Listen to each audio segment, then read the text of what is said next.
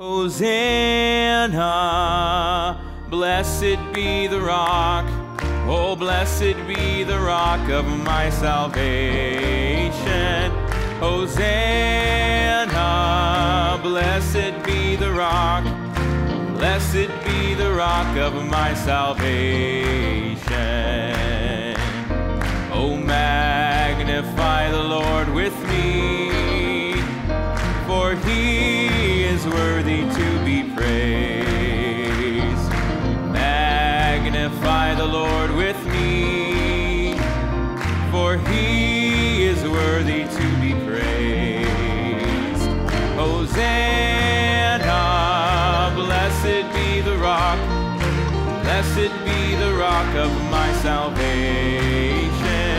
Hosanna,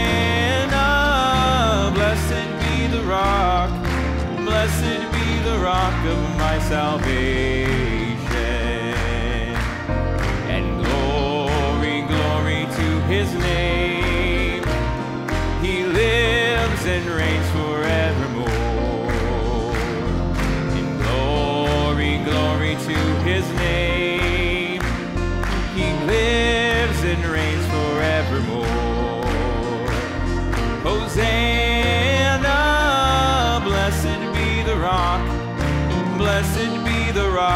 my salvation. Hosanna, blessed be the rock, blessed be the rock of my salvation. Jehovah Jireh is his name, for he provideth all my needs. Jehovah Jireh is his name, provideth all my needs. Hosanna, blessed be the rock, blessed be the rock of my salvation. Hosanna, blessed be the rock, blessed be the rock of my salvation. Well, I will sing unto the Lord, for he has triumphed gloriously. The horse and rider fell into the sea. Well, I will sing unto the Lord, for he has triumphed gloriously. The horse and rider fell into the sea. Hosanna, oh, Hosanna, blessed be the rock, blessed be the rock of my salvation. Hosanna, oh, blessed be the rock, blessed be the rock of my salvation. And I will sing unto the Lord, for he has triumphed gloriously. He called me out of sin and set me free. And I will sing unto the Lord, for he has triumphed gloriously. Called me out of sin and set me free. And Hosanna, blessed be the rock, and blessed be the rock of my salvation. Hosanna, blessed be the rock, blessed be the rock of my salvation.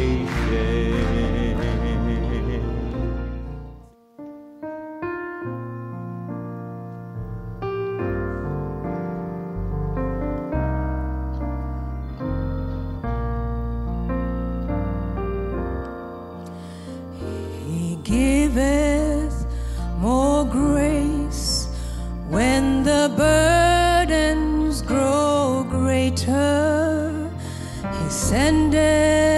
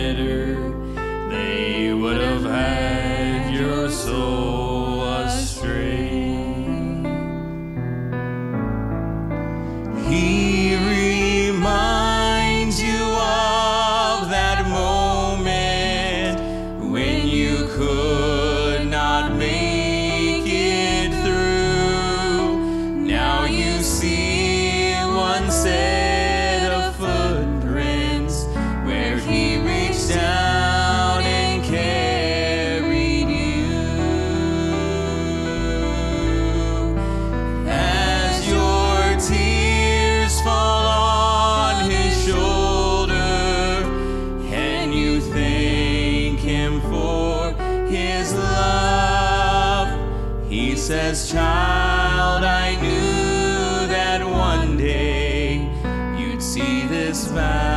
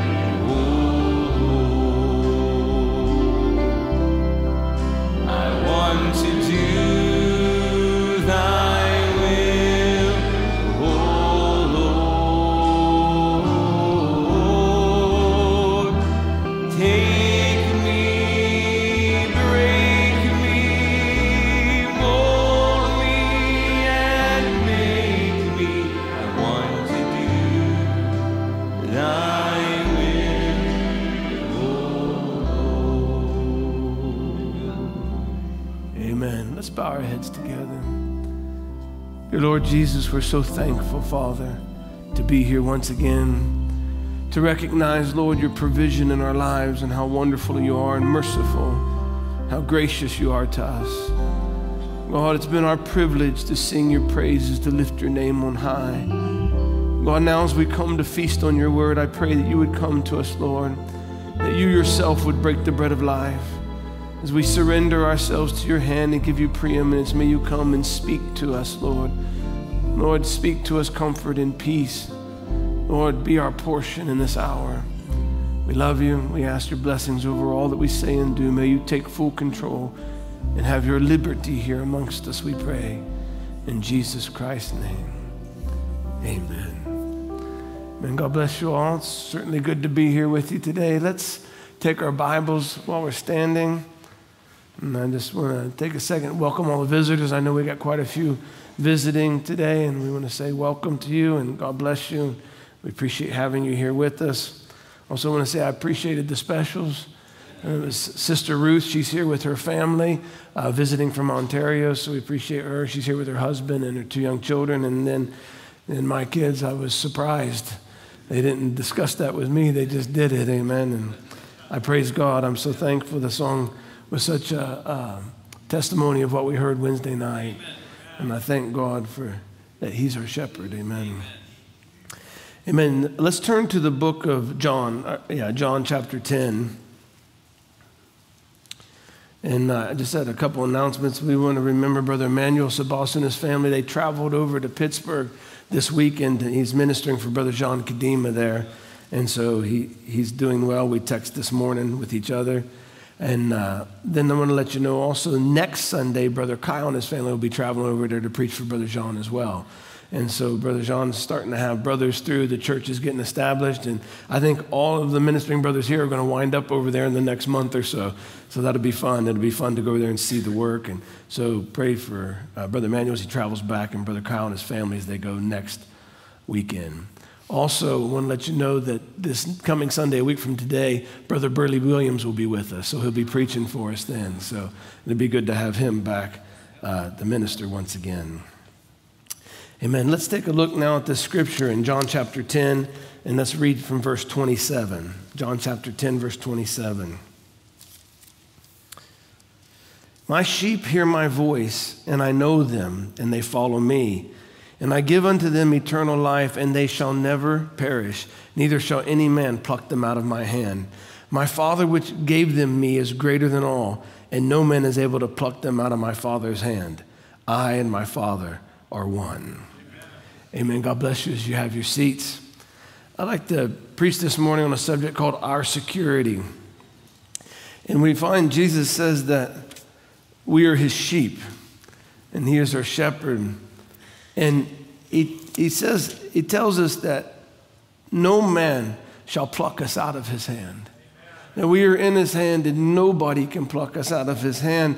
And then he says, My Father, which, is, which gave them me, is greater than all, and no man can pluck them out of no, no man can pluck them out of my Father's hand. Then he says, I and my Father are one. So I think we're very secure in the hand of God. And so I want to talk about our, our security because the world is so uncertain and un- insecure that I want to talk about where our security comes from. And in the message, the trumpet gives an uncertain sound. The prophet said the national life is uncertain. Well, the world is uncertain. We're just living in a place to where the whole world is having a nervous prostration look like, shaking all. Every nation, everybody, one is afraid of the other. And if I don't know if you heard the news or not, but last night Iran launched an attack against Israel. They sent a bunch of uh, drones and missiles or whatever, and, and uh, most of them were intercepted. And, and there's just a feeling all over the world as you never know what's going to happen next. Everything is tense, and, and there's, there's war in Europe and Eastern Europe, and there's war in the Middle East, and, and there's tension all over the place. But praise God, we're in the palm of His hand. I'd rather be secure in the palm of his hand than secure in some place on this earth. And so, so I thank God for that. Brother Branham, he says in the message, The Uncertain Sound from 61, he says, Your jobs, you ain't got no security in your jobs. I don't know how true this is, but I've been told that there's more people out of work right now than there was during the time of President Hoover's depression because there's more people. What's the matter? It's just a place where there's no certainty in these things. You're not certain of your job, somebody can take your place in the morning. Politics, let's just talk a while tonight. This is Saturday night. Politics, crooked. Both sides. Just so crooked as crooked can be. It proved it in this last election when the FBI exposed that they had machines that every time you voted for Mr. Nixon, they had vote for, Mr., uh, for Kennedy at the same time, and they proved it. And what did they do about it? Nothing. Now, I'm not Democrat nor Republican, neither one. I'm a Christian. I agree with that statement, amen. The one pot can't call the, uh, the, the pot can't call the, uh, call the kettle black or greasy. One's just as black as the other one, just as dirty as the other one. But what's the matter? It's because there's no security in those things, it's played out. A little further down, he says, Don't care how much money you can make or how many buildings you can build or how much president you could come of any company. It's falling, crumbling. The thoughts in my mind now of that third angel's message. Uh, that would be Brother Branham's ministry, the third angel flying through heaven, the third angel's message that went forth, Martin Luther, John Wesley, and the next angel. What did the last angel's message say when he crossed the three angels? Babylon is fallen, is fallen, and become the habitation of every unclean spirit. That's exact, exactly where it's at. We have no security in our nation. It's uncertain everywhere, uncertainty. There's uncertainty in your job, uncertainty in politics, uncertainty in Democrat Party, uncertainty in Republican Party, uncertainty in all parties. And in the church, it's also uncertainty. How can we have about 900 different organizations and every one of them different one to the other and fussing with one another? How can a poor laity know what to do? How can the people know where to stand? Praise God. I think he's telling us that there's no uncertainty, there's no certainty anywhere, it's all uncertainty everywhere. And this was 1961 when he made these statements. So if we could just fast forward, amen, 60, whatever, 63 years now, it's more uncertain than it's ever been. The world is perilous. The conditions are, are, are, we're seeing extreme everywhere extreme in weather, extreme in politics, nation against nation, pestilences, earthquakes in diverse places. All the signs that we told we would see, they're all present. But we should be more secure than we've ever been when the world gets more insecure and there's more uh, uh, uh, insecurity all around, our security should be growing. Amen. Because our God, amen, He's come on the scene in this last day and peeled back the great mystery of His Word and opened His book so that we can see He has a plan. He's always had a plan and everything's worked according to His plan and nothing's out of plan and He's got everything under control. And we should find ourselves, by the grace of God, in the palm of his hand. Amen. And then we have nothing to fear. Praise God. Jesus makes this statement in Luke 21 and there shall be signs in the sun and in the moon and in the stars and upon the earth distress of nations with perplexity, the sea and the waves roaring, men's hearts failing them for fear and for looking after those things which are coming on the earth, for the powers of heaven shall be shaken. So men's hearts are failing for fear. They're running to drugs and entertainment. And, and if they don't go to illegal drugs, they're going to legal drugs through psychiatrists, and all just to cope with the way the world is. They fry their brains on entertainment and video games and, and YouTube videos, and they're trying to keep themselves completely distracted. Because it's the only place to find any peace is distraction from the world. Because there's no certainty in the world. It's, it's gone into chaos. And the, when we want to look at insecurity, we have to go back to the beginning. So let's go to Genesis chapter 2.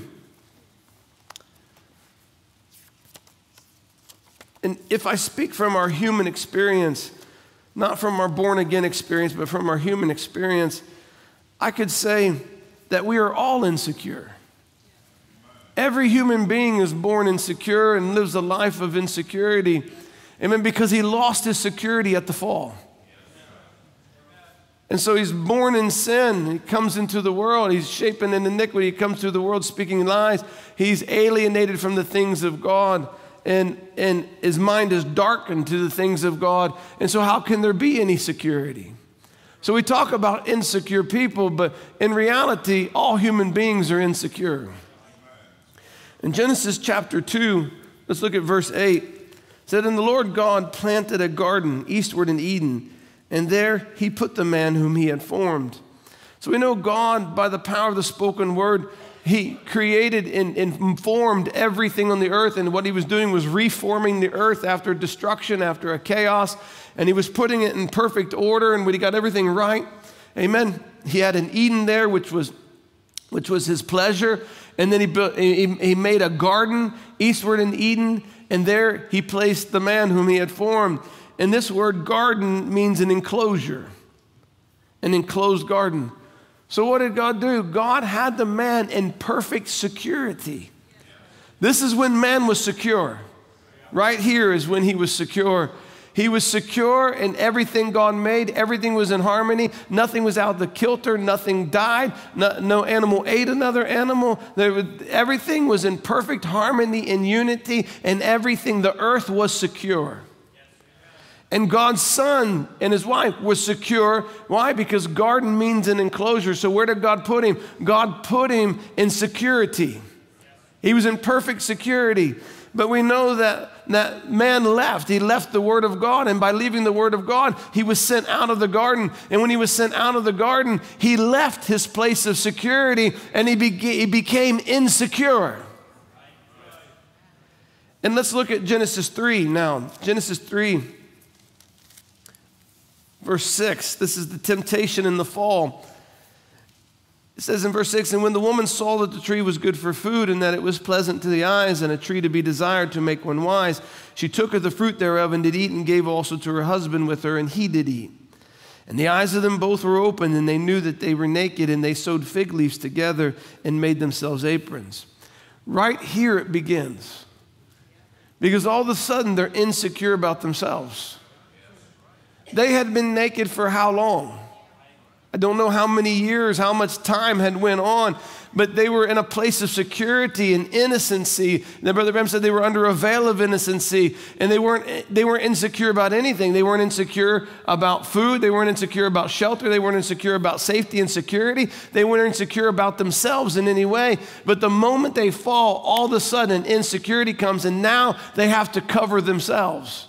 And Brother Branham tells us they formed their own religion. What were they trying to do? They were trying to cover their sin but they did it by their own mechanism to cover their sin. But even their covering for their sin didn't bring security. Amen. It was a false security.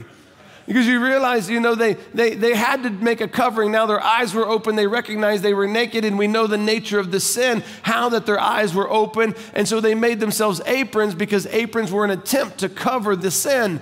Amen. But but but no matter how much they make believe that everything was all right and everything was covered, as soon as the voice of God came walking in the garden, amen, they were really insecure. So insecure, listen, everything begins in Genesis. Amen. You start by leaving the word, amen, leaving perfect security. You take your own decision and insecurity sits in. When insecurity sits in, then you try to find security in something you can do and a man made security, and they attach that man made security to them and no doubt made believe that everything was all right. But in the presence of God, amen, the insecurity that was buried in their heart could not be hid. Everything starts in Genesis. That is what we're still living with today. He goes on in verse 9, and the Lord God, I'm sorry, in verse 8, and they heard the voice of the Lord God walking in the garden in the cool of the day. And Adam and his wife hid themselves from the presence of the Lord God. This is the first time they've ever been insecure with their relationship with God. There was a perfect security in their environment, a perfect security in themselves, and a perfect security in their relationship with God. But now at the fall, they were insecure in their environment, they were insecure with themselves, and they were insecure with their relationship with God. And tell me what every human being is still dealing with. The same thing. And the Lord God called unto Adam and said, Adam said unto him, Where art thou? And he said, I heard thy voice in the garden. I was afraid because I was naked and I hid myself. Those are absolutely tragic words. He had lost his security, insecurity had set in, and now the plague in humanity had begun. We come into this world and we are insecure. Some of us suffer with different insecurities and more severe than others in certain areas, but, but we come insecure. And as we grow older, it becomes more and more evident how insecure we are because as we get older, we try everything under the sun to bring security. And it all brings a false sense of security. There's only one place to find security, and that's in the palm of his hand. It's the only place that we'll ever find a place for our heart to come to rest is in the palm of his hand. Nothing else will work. When I looked at this uh, uh, term insecure, I just went to the um, uh, Merriam Webster's dictionary online and just got the definition. So we'll begin to look at the definition, and they break it into five different types. First is a deficiency in assurance, beset by fear and anxiety. Insecurity can be summed up by a deficiency in assurance, and you're not assured of something. Part B to this is not highly stable or well adjusted. So you can be insecure in school, you're not highly stable or well adjusted. You can be insecure in anything new. Number two, not confident or sure. It's uncertain. Number three, not adequately guarded or sustained, like unsafe. Not adequately guarded or sustained. Not firmly fastened or fixed, like shaky. Something's unstable. And number five, unable to reliably afford or access what is needed to meet one's basic needs. So, like food security that the UN keeps talking about, unable to afford or access what is needed to meet one's basic needs. These are all different types of insecurity. These are different ways of being insecure, I should say it that way. And so we find that we are all plagued with this in the human realm. But I don't want my spiritual life to be plagued by this. There has to be a security that will do away with the insecurity. And Christ is our security. When I began to meditate on this, I realized that, that this is a plague amongst human beings, so we can't anyone escape it. You can say, well, that person's insecure, and that person's insecure, and that person, yeah, and so are you. so, I mean, so what? Maybe somebody's is more obvious than yours, but you're insecure too. I guarantee it. Amen. The only place that we can find our security is in Christ because He is our security. We won't find it anywhere else. Uh, we won't find it in accounts. And, and it's amazing how this world makes us insecure. The news makes us insecure. So if you have a news feed, one of the objectives of news is to make you insecure because then it, it brings to your attention the danger that's in the world. There's either danger by car accident, there's danger by natural disaster, there's danger from other human beings, there's danger from wars, there's danger in the environment. There, there, the, the news is constantly telling you you're in danger. So the news breeds insecurity. But the gospel is the good news, amen? And that good news brings you security, that you're safe from all of these things. And so we're, we're surrounded by insecurity. And what the news does and, and what the government does and what everybody does is tell you you're, you're insecure. And then what they do is they bring a false sense of security. You're insecure because when you get older, you won't be able to work. So we have social security. You have a 401k plan, we have this and that. But really, it's a false sense of security because there's no guarantee that it'll be there when you get there to need it. Amen. And even if it is there, it, it, who's, who's to say it's enough? And maybe you will never make it there, or when you make it there, it may not be there, or when you make it there, it may not be enough, or, or when you get there, it may be enough money to sustain your life, but will it save your children? Will it solve your problems? Will it take care? No. There's no security anywhere. All these are human measures to find some way of bringing peace to a heart that's troubled. We try through laws and through regulations and through all of these things. They're trying to bring us security. Amen. It's amazing how much, how much the, the, the world spends on defense spending. I think it's so funny, too, defense spending. America spends billions on defense spending. When was the last time America had to defend its territory? That's not defense spending. They're the military arm of the Vatican. They're going out trying to fight all the Vatican's wars. It's not defense spending. We have nobody attacking the United States. It brings a false sense of security. Even the terminology brings a false sense of security. We try to secure ourselves with tanks and missiles and ballistic missiles, and that's no security. Unless the Lord keeps a house, they labor in vain. Unless the Lord keeps us build a city, they labor in vain that build it. Unless the Lord keeps a house, they labor in vain that watch. So there's no security. All these things are false measures of security, trying to calm an anxious heart, and it, it's never going to work. That's why the world becomes more neurotic all the time. And I, I think about how we pass on insecurity to one another in the simplest of ways. I was, I was just meditating because it's so easy to do. You think if you have, if you take a parent, you have a mother or father who's afraid of water they're going to pat, they're going to do their best to pass that insecurity onto their child.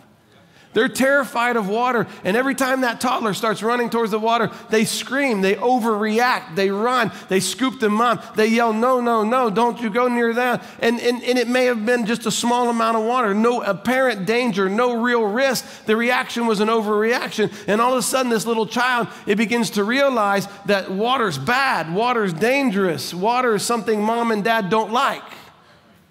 And then as they get older, you tell them it's dangerous and you could drown. And then when they get a little older, you tell them all the stories of all the children who have drowned. And you think you're keeping them safe. You're not keeping them safe. What you're doing is building an insecurity, and actually, it's dangerous because you won't let them experience water in a safe way till they can build up, uh, uh, uh, they can overcome a fear and build up an ability to navigate through the water and not be terrified and be able to swim. So that if they ever do happen to fall in the water, all those stories of drowning are in their mind and the terror of mom, and they start thrashing around. They can't swim, they overreact, they drown. It was your insecurity you put on your child and you created a dangerous situation. That's an easy, that's, that's an easy one that, to look at, but we do that with religion. We do that with salvation. We do that all the time. We take our own insecurity and religion and we put it on our kids, amen, because we don't really have any peace, so we'll clamp down on them because we can't overcome sin. So all of a sudden we take all kinds of, uh, of legalistic restrictions on our kids because there's nothing in me that has a power to overcome sin. There certainly can't be anything in you. And I put my insecurity religiously on my kids. And now they're afraid of everything in the world, and God has no power to help anybody overcome any temptation or lust or it's a human insecurity, but by the grace of God, God is going to help us overcome that in this generation because He's provided everything we need. And the fullness of the Word brought back the fullness of the Spirit, which brought the power to live the Word. Amen. Praise God. So we can overreact, we can become too strict. And it's all based on fear and insecurity and try to build a false security with a system of religion or a set of strict rules. And it, it's not going to work any better than the missile defense system is going to keep the bomb from Russia from falling in America. Because the prophet already told us it's going to fall. Doesn't matter how much they spend on defense spending. You take a, you take a mother or a father who hates peas, detests peas. You know, you get a little baby food jar of peas, and somebody brings that jar over, and the first thing they say is, Oh, she won't like that.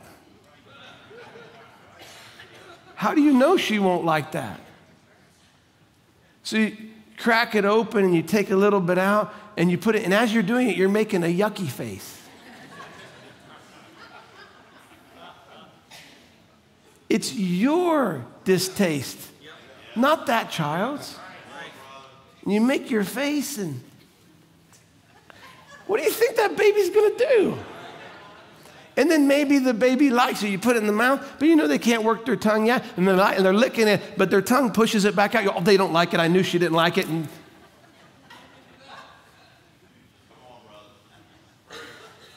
It's funny, but it's not funny when we do it with religion. It's not funny when we do it with other things in life.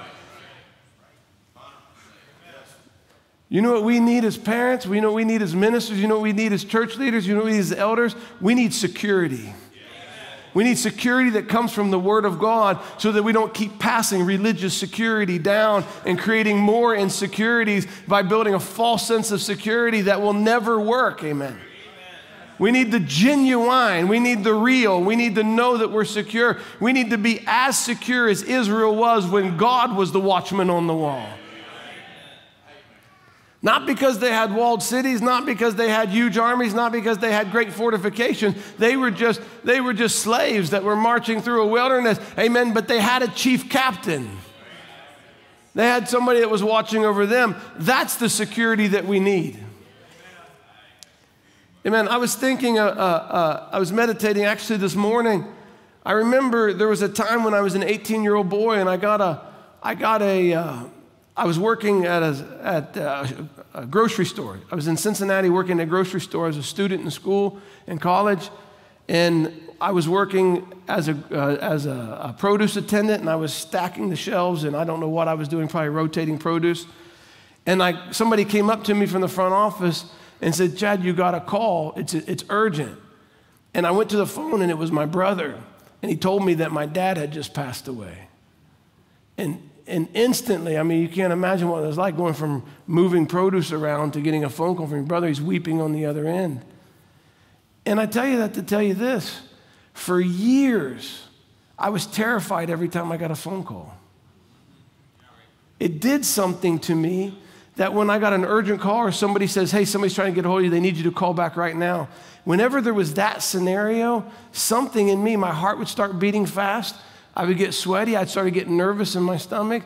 And there was nothing wrong. There was nothing to be afraid of. But because I had that tragic experience in my life, now anything that was similar to that would cause a reaction in me. I was afraid to answer the phone. Sometimes I'd overreact and run as fast as I could, or, or but by the grace of God, He worked that out of me, and I'm thankful. But you realize how easy it is for these things to come into our life. Amen. And what we need is we need God to heal our hearts. Amen. Because we can't live life in fear and terror because we're in the palm of His hand nothing's going to happen. I used to, I, after that happened, I would actually, after I got married and after I had children, I would actually envision what that call would be like coming from my, for somebody calling about my spouse or one of my children. And I would terrorize myself because it was an old wound, an old uh, trauma in my life. But, but praise God, I have found my security in the Word to overcome that. So there are things that happen to us that we can't control. We can't just say, stop being insecure. I'll try. I mean, I'll do what I can. I'll, I'll, stop trying to be afraid of heights or afraid of water or afraid of a phone. I'll try. But you know, no matter how much you try, you can't just stop feeling insecure. Because the only way to stop feeling insecure is to all of a sudden feel secure. So, how in the world am I going to feel secure if I have no real security? I'm going to have to find security. But it's got to be real and genuine and everlasting and, and it can't be it can't be uh, uh, uh, it can't be a, a, security that fails or is flawed or won't hold up. So we have to find that security in the Word of God, and this is what heals our heart. When we find in the Word and in the Scripture that God is faithful to His Word and He's made precious promises to us, that Word can heal our heart and bring us a security that can help us overcome trauma in life, overcome things that have happened in the past, overcome things that are still troubling us. You're not going to find it at a psychiatrist's office. You're not going to find it by jumping into entertainment, and you're not going to find it by pretending it's not there. You're going to only find it in the Word of God. Amen. By the grace of God, His Spirit will come and make that Word live inside of us, and it'll bring a true, genuine security to where I'm actually not at all afraid of a phone call, and those thoughts never enter my mind anymore because I know everything's under control. God knows what's going to happen, and I don't have to be afraid of what will happen because God's got a time and a purpose for everything. And if God allows something to happen, it's the very best thing that could happen. We got to come to that kind of reality. It's, that's got to be That can't just be something we say because you can say that all you want and then you'll go around acting completely insecure, wringing your hands, being nervous and upset. So it's just words coming out of a mouth. That doesn't, that doesn't bring security. When the revelation strikes the heart, that's what brings security. Amen. So we do this to one another all the time. We do this to our children. The government does it to us. We've had a bad church experience and people in the church have hurt us or our ministers hurt us, then all of a sudden we don't want to trust church people and we don't want to trust the church and we don't want to trust ministers. And, and God can heal all of that because God has to have a real, genuine church somewhere. He has to have a real fivefold ministry. There's got to be, if God set it up and told us to submit ourselves to, there's got to be a real one somewhere. And notice I didn't say a perfect one because there's not a perfect one anywhere, but there's got to be a real one somewhere. A real body of believers that want to serve God and genuinely love each other. A real ministry that wants to serve God's people and minister the pure word of God. It has to be alive somewhere because it's the word of God. So, some of those things we have to get over. We have to look at the word and say, God, I need some security from your word because I've been made insecure by past hurts of ministers, past hurts from churches. And the problem is, we'll pass that right down to our children because we'll be reluctant to enter into fellowship. We'll be reluctant to receive from a minister. And then we'll tell our children things like, be careful. Be careful of what? Just be careful. Don't get too tied into the church. Don't, don't be too trusting. all of a sudden, what kind of seeds have we sown? You think God wants us not to trust in His Word? Not to trust that He can provide? We can't pass these things on to one another. If there's anything I want to pass on, let me pass on faith in the Word of God, confidence in Jesus Christ to keep me, uh, an absolute faith that God will keep His Word. No matter how many people fail, God will keep His Word. If it didn't work 15 times, it'll work the next time because God can't fail.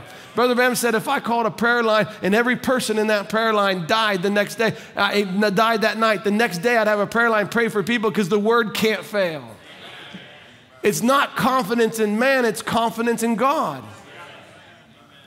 So there's so many things that create insecurity. There's only one that I know of that creates security, and that's Christ. I want to go through some scriptures as we look at this because I, I think we can find that everything that we have to be insecure about, He has provided in the Word. And I'm going to go through scriptures fast. That's why I did a PowerPoint today so I can go scripture to scripture. So if you just keep your notepad handy, if you want these scriptures, just jot them down. Amen, because we're going to keep moving fast. So I first want to look at what it means to be secure. So we looked at insecure. So what is secure? This is the same thing out of Merriam Webster's dictionary online. Free from danger. Does Christ make us free from danger? Affording safety. And they use the example of a secure hideaway. Is Christ a secure hideaway? Trustworthy and dependable. Is Christ trustworthy and dependable? Free from risk of loss. Everything that I commit unto him, will I lose it? No. Two, easy in mind being confident, having confidence. Can I be confident in Him? Assured in opinion, having no doubt. Can He take away all my doubts? Can He give me His faith so that I have confidence in Him? Assured, that means a secure victory. I'm assured of overcoming, I'm assured of being delivered, I'm assured of being rescued. And four, able to re- reliably afford or access what is needed to meet one's basic needs. Can he meet all my needs? Can he afford it or access it? Yes. So we find that our security is found in him. Let's look at insecure again. A deficiency in assurance beset by fear and anxiety. A deficient, this is one that's amazing to me, a deficiency in assurance. So if, if my insecurity comes from a deficiency in assurance, I have to find a place to get assurance. And that if I get assurance, it'll overcome a deficiency in assurance. So if I can find assurance, then I'll be secure. Not because I do some mental exercise. Not because I say something out of my mouth, not because I distracted myself with other things or I created a false uh, protection from it. None of that will work because it can't get rid of the insecurity in your heart. Your bank account can't take care of that. Your job can't take care of that. The government can't take care of that. And your spouse can't even take care of that. Your mother and father can't take care of that. Your minister, your pastor, your church can't take care of that. There's nothing that can take care of the insecurity in your heart. Everything else becomes something to put security in that will fail. The only thing that won't fail is Jesus Christ. A deficiency in assurance not highly stable or well adjusted. So this is where I want to start going through some scriptures because we want to find our security in the word. Hebrews 10 21. And having a high priest over the house of God, let us draw near with a true heart and full assurance of faith, having our hearts sprinkled from an evil conscience and our bodies washed with pure water. Let us hold fast the profession of our faith without wavering, for he is faithful that promised. Where's my assurance? My assurance is faith. Where did I get faith? It was a gift from God. And I have assurance in faith. I don't have assurance in all these physical things, but I have assurance in faith that he who promised it cannot fail. 1 John 4 17, herein is our love made perfect, that we may have boldness in the day of judgment, because as he is, so are we in this world. There is no fear in love, but perfect love casts out fear, because fear hath torment. He that feareth is not made perfect in love. We love him because he first loved us. So, what will take care of the fear in my heart? The revelation that he first loved me. When I was unlovable, before I deserved his love, before I could do anything that would merit his love, he loved me first. And because he loved me first, he's gave me the capacity to love him back. And that, amen, that will do away and dispel fear because fear is what brings insecurity. So, what will bring security? The revelation that he loved me first. But what if I mess up? He loved you while you were messing up. He loved you in the midst of your messing up. He, he loved you before you knew that you could even do right, before you even attempted to do right. He loved you first. That's why you love Him. And let that dispel the fear. Amen. And we could go on and on and on through the Bible, but I just grabbed just a couple scriptures for each one. Not confident or sure. Not being confident. This is another insecurity, another way we can be insecure, not having confidence or, or not being sure. You know, this is a trage- tragedy when it comes to the message. We go to a message church, we sit, we claim we believe, we worship, but if we're not actually confident that it's the truth, it's going to show up somewhere in our lives. It, uh, there's no way you can't fake this, you can't pretend it. There'll be enough circumstances in your life that that'll pop out. Amen. But we got to find, by the grace of God, a confidence and an assurance that this message is the truth. And you can only receive that by divine revelation. God's got to plant it in your heart and reveal Himself to you because this message is Christ. And He must reveal Himself to you that this is me. And if we can't find that, there's going to be a problem somewhere down the road. In Jeremiah 31, 3, it says, The Lord hath appeared of old and said unto me, and old unto me, saying, Yea, have I loved thee with an everlasting love. Therefore, with loving kindness have I drawn thee. Why did God draw you? Because he, he loved you with an everlasting love. Not a love that fades, not one that he can change his mind, but he loved you with an everlasting love. And because he loved you with an everlasting love, he drew you. How did you get here? How did you hear the message? How, who, who drew you? Did you bring yourself or did God bring you? If He drew you, then He loves you with an everlasting love. Isaiah 30, 15, for thus saith the Lord God, the Holy One of Israel, in returning and rest shall you be saved, in quietness and confidence shall be your strength. What am I what am I supposed to, where's my strength come from? In rest, in quietness, in confidence. My strength doesn't come from action. My strength comes from rest and confidence in God. Why? Because it's never my strength. My strength is never enough. The strength that I have in myself is never enough to accomplish anything, to save myself, to deliver myself, to overcome anything. Uh, that's not mine, so I'm relying on His. And how do I know where His strength is? It rests in His Word. Amen. So I have to just rest, amen, and wait with confidence on Him to perform His Word. And that's my strength. Ephesians 3:11 according to the eternal purpose which he purposed in Christ Jesus our Lord, in whom we have boldness and access with confidence by the faith of him. He has given us the faith that gives us boldness and confidence. It, it doesn't come, it, it doesn't come just by working it up. Boldness and confidence doesn't come by working it up. It comes by confidence, by faith of Him. That's His faith He's given to us. It's not, not just working up our faith, but it's actually a gift of His faith. And that's where our confidence comes from. That's what gives us boldness and access with confidence. 1 John 5. And this is the confidence that we have in Him that if we ask anything according to His will, He heareth us. And if we know that He hear us, whatsoever we ask, we know that we have the petitions that we desire of Him. Now, there's no reason to have no confidence and not be sure. Why? Because I'm not looking at myself, I'm looking at Him. He's the one who purchased. He's purchased full, all redemption, all that was lost in redemption. He purchased it back by his own blood. I'm looking to his blood. I'm looking to him. I'm not looking to myself. I'm looking at his word, the promise he made me. And my confidence now is in resting in him to perform his word. If not, we strain and we try and we press and we get more tired and more frustrated and more discouraged and, and we start to, our faith starts to wane. Why? Because we were trying to use our efforts to do something and our efforts will always collapse. But our strength is in quiet confidence. Number three, not adequately guarded or sustained, being unsafe.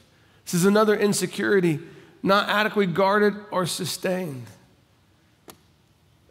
We, we know how risky life is. And there's danger all around. But you're still in the palm of his hand. Remember, when that tornado was barreling towards your house, you're in the palm of his hand. When that car was barreling through the intersection, you're in the palm of his hand. There's nothing that can take away from the security you have in the palm of his hand. So, not feeling adequately guarded or sustained. In Philippians, he says, being confident of this very thing, that he which hath begun a good work in you will perform it until the day of Jesus Christ. Here's the question Has he begun a good work in you? If he's begun it, then it's guaranteed to the finish line. He doesn't finish what he started. If he started it, he'll finish it. There's no way that he can fail to finish what he started. Amen. If, if he didn't start it, then we, we should be nervous. But if he begun the work, he's going to finish it. What do we need to do? We need to quietly trust in him and have confidence in him who will finish his own work. Proverbs 8 10. The name of the Lord is a strong tower. The righteous run into it and is safe.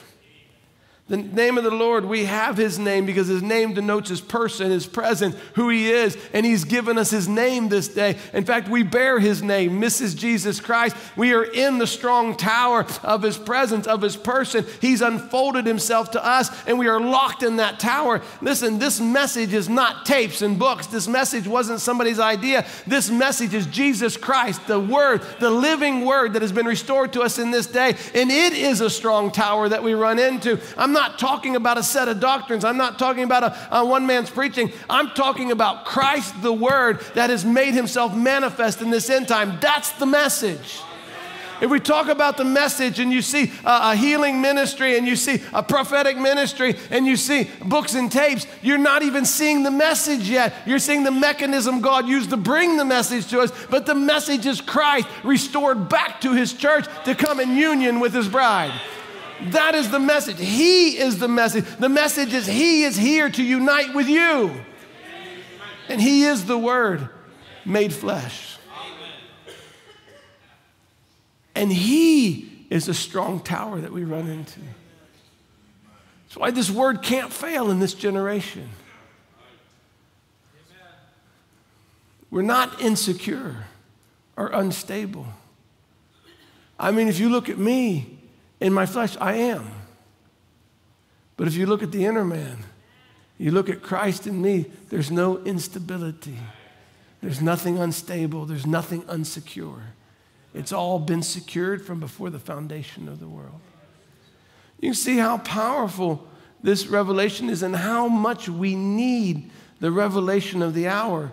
Because if not, we're going to be tossed about on, on, these, on these waves that are rolling all around us, and we'll be tossed up and down, and we'll have no real security. But our anchor will hold because our anchor is tied to the unmovable Word of God. If we have a different idea every day, you know, a double minded man is unstable in all his ways. We need to come back to having confidence in what God's given us and keeping our confidence rested there. In Matthew 28, he says, And Jesus came and spake unto them, saying, All power is given unto me in heaven and earth. All power. Go you therefore and teach all nations, baptizing them in the name of the Father and of the Son and of the Holy Ghost, teaching them to observe all things whatsoever I've commanded you. And lo, I'm with you always, even to the end of the world. Who's with you? The one who had all power in heaven and earth given to him, and he's with you to the end of the world. Are you secure? Yes. I believe you're secure. Do you always feel secure? No. That's why we've been trained not to trust our feelings, but to, be, but, to, but to have faith in the Word of God. I got a feeling we're going to have to pass this test.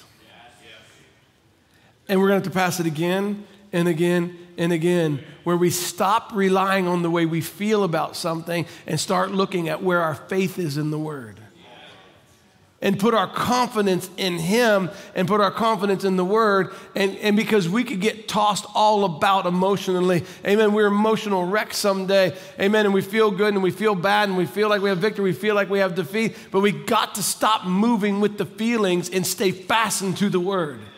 Because that's the only thing that's going to overcome in this generation. You there's, there's, there's news coming so fast. There's been never been a generation that gets information as fast as we get information. And every tragedy that strikes anywhere can be, can be sent to you and you can be notified of it within minutes of the tragedy. And they can pile up one after another. There's a flood somewhere, an earthquake somewhere, a war somewhere. Your grandma's sick and your great uncle just died. And you can get all that the same day. Listen, how in the world are we going to cope? No wonder the world's going crazy. They can't deal with this much negative information all the time. Oh, and by the way, interest rates are high, houses are still expensive, and, the, and it looks like the economy could collapse any minute. We have to get to the place that says, that, that doesn't move me. That has nothing to do with it. Amen. That all may happen, but I've never seen the righteous forsaken or God's seed begging bread. I'm in the palm of his hand. There's no insecurity in the news. There's no, I, my security is not the financial system of America or the world. I, I, I'm not, my, my, my, my, my, my existence is not based on the government. I exist because God wants me here to shine his light. And as long as he wants me here shining his light, nothing's going to take me off of this earth and take me out of my position. And the minute he's done with me and removes me, I'll be glad for the exit ramp to go to the sixth dimension. I can't lose. There's nothing that's going to hinder me. What do I have to feel insecure about? The creek's rising. The creek's rising. Let's move to higher ground. And if I can't get to higher ground, he's going to have to deliver me. And if he doesn't deliver me, he's taking me home. Where's the insecurity? Amen. The, this bride Amen. We may f- face more and more pressure as time goes on. I, I don't know, and I, and I, I really don't want to uh, uh, project bad omens, but there's a lot that the prophet told us, and it looks like things can get pretty tight and kind of squeezy and maybe pretty difficult. Amen. And we're going to have to stop trusting feelings and quit looking to anybody else for security. We got to get to the place where my husband is all that I need. He provides everything for me. I'm secure because he said I was secure. I rest because he told me to rest. Amen. He told me that he's watching over me. He's my shepherd. I'm in the palm of his hand. He's the strong tower. I mean, how many scriptures do we need to go through? But you know what happens? The very next time we get bad news, every one of those scriptures is out of our mind, and all we can think about is what kind of cancer was that they told me? Circonoma, comma, sama, something. And that's normal, that's human. You don't have to feel bad because you're trying to remember what the doctor told you, but just don't dwell on that too long before you come back to the scripture and say, But by his stripes I'm healed that God will never allow anything to happen that He hasn't approved of first. There's a purpose in all of this. And I, though I am tried, I shall come forth as gold. Why can't we just speak the scriptures and stop speaking medical science and stop talking about disasters and talking about all the negative things? And how are you doing? Doing horrible. This happened, that happened, the plant closed, and, and, and, and I lost my job, and, and the bills are coming due, and oh, oh, oh, oh, oh, oh, oh. That tends to be the way I talk, if you don't know. I preach to myself a lot. But why can't we say, Praise God, the plant closed. I lost my job and I got bills due. I can't wait to see what He's going to do this time because He made a promise to me. I can't wait to share the testimony in the church. I can't wait to tell you what, what's going to happen. Amen. And it drags on and it drags on, and you get beat down and you get wore out. But praise God, amen. The testimony gets greater as time goes on. Lord, help that to be my perspective all the time.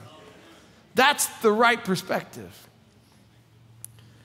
You say, well, sounds like you lost your mind. Praise God. Mine was defective, anyways. I think I'll take the mind of Christ over mind any day. That's the one that's going to do me good, and that's the one that's going to get me out of here. Praise God. Now let's look at this fourth definition not firmly fastened or fixed, shaky. Are we on shaky ground? Amen. Praise God. 1 Corinthians, according to the grace of God which is given unto me as a wise master builder, I have laid the foundation, and another buildeth thereon. But let every man take heed how he buildeth thereon, for other foundation can no man lay than that is laid, which is Jesus Christ. What foundation are you on? Is it in any way shaky? Is it any way unstable? If you're built on the foundation of Jesus Christ, which the true church is built on, then there's nothing shaky about your position. Praise God. Ephesians 2:19. Now, now therefore you are no more strangers and foreigners, but fellow citizens with the saints and of the household of God, and are built upon the foundation of the apostles and prophets, Jesus Christ himself being the chief cornerstone in whom all the building fitly framed together groweth unto a holy temple in the Lord, in whom ye also are builded together for a habitation of God through the Spirit. Are we on a good foundation? We are on a good foundation. The world is shaking. Brother Mary said the world is falling apart. Let her fall apart. It's going to fall apart. But one thing's not going to fall apart God and his seed are not going to fall apart. The word is not going to fail. Matthew 16, 16. And Simon Peter answered and said, Thou art Christ, the Son of the living God. And Jesus answered and said unto him, Blessed art thou, Simon Barjona. For flesh and blood hath not revealed it unto thee, but my Father which is in heaven. And I say also unto thee that thou art Peter, and upon this rock I will build my church, and the gates of hell shall not prevail against it. What's the church built on? On the foundation. What foundation? The rock. The rock of what? The revelation of Jesus Christ is the rock that the church is built on. And it's unmovable, unshakable. Amen. It's not, te- the church has never been teetering, it's always been secure in Christ. He is our security. Remember, Jesus told the, the parable of the man who built his house on the rock and the man who built his house on the sand. And he likened the man who built his house on the rock. And see, the waves came, and the floods rose, and the waves beat vehemently, and the wind blew. And one house stood and one house fell because one was secure, one was insecure. The one that was insecure had no foundation. I mean, it was on the sand that moves and shifts. That's the ideas of man. The ideas of man move and shift. Feelings move and shift. If, your if your Christian experience is based on a feeling or a sensation you had alone, that's shifting sand. But it must be based on the Word of God. Our feelings, our emotions, they change. Our ideas, the ideas of groups of people, they change. But Christ never changes. God said, I am God and I change not. And he said, The one who built his house is the one who heard my word and did it. It's simple. The one who received my word and just surrendered to it and obeyed it, that's the one whose house is built on this rock. The one who had another idea or a better idea or a church system that had some other idea other than the obedience to the word, amen, that fell down in the time of storm. But in the time of the storm, the one that was fastened and attached to the word by obedience to the word, that one stood the test of time. I thank God he's restored his word so that we're not guessing anymore. We're not hoping, but God sent a prophetic ministry to restore the word so that we know what He expects and what He wants and what we can surrender ourselves to so that we can be fastened to the rock.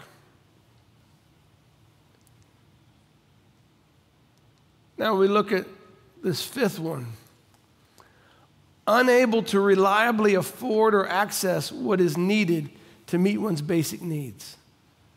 It's interesting. So they talk about food security all the time in the United States. There's people with food insecurity. They can't access, they can't get to the food, uh, uh, they can't purchase it.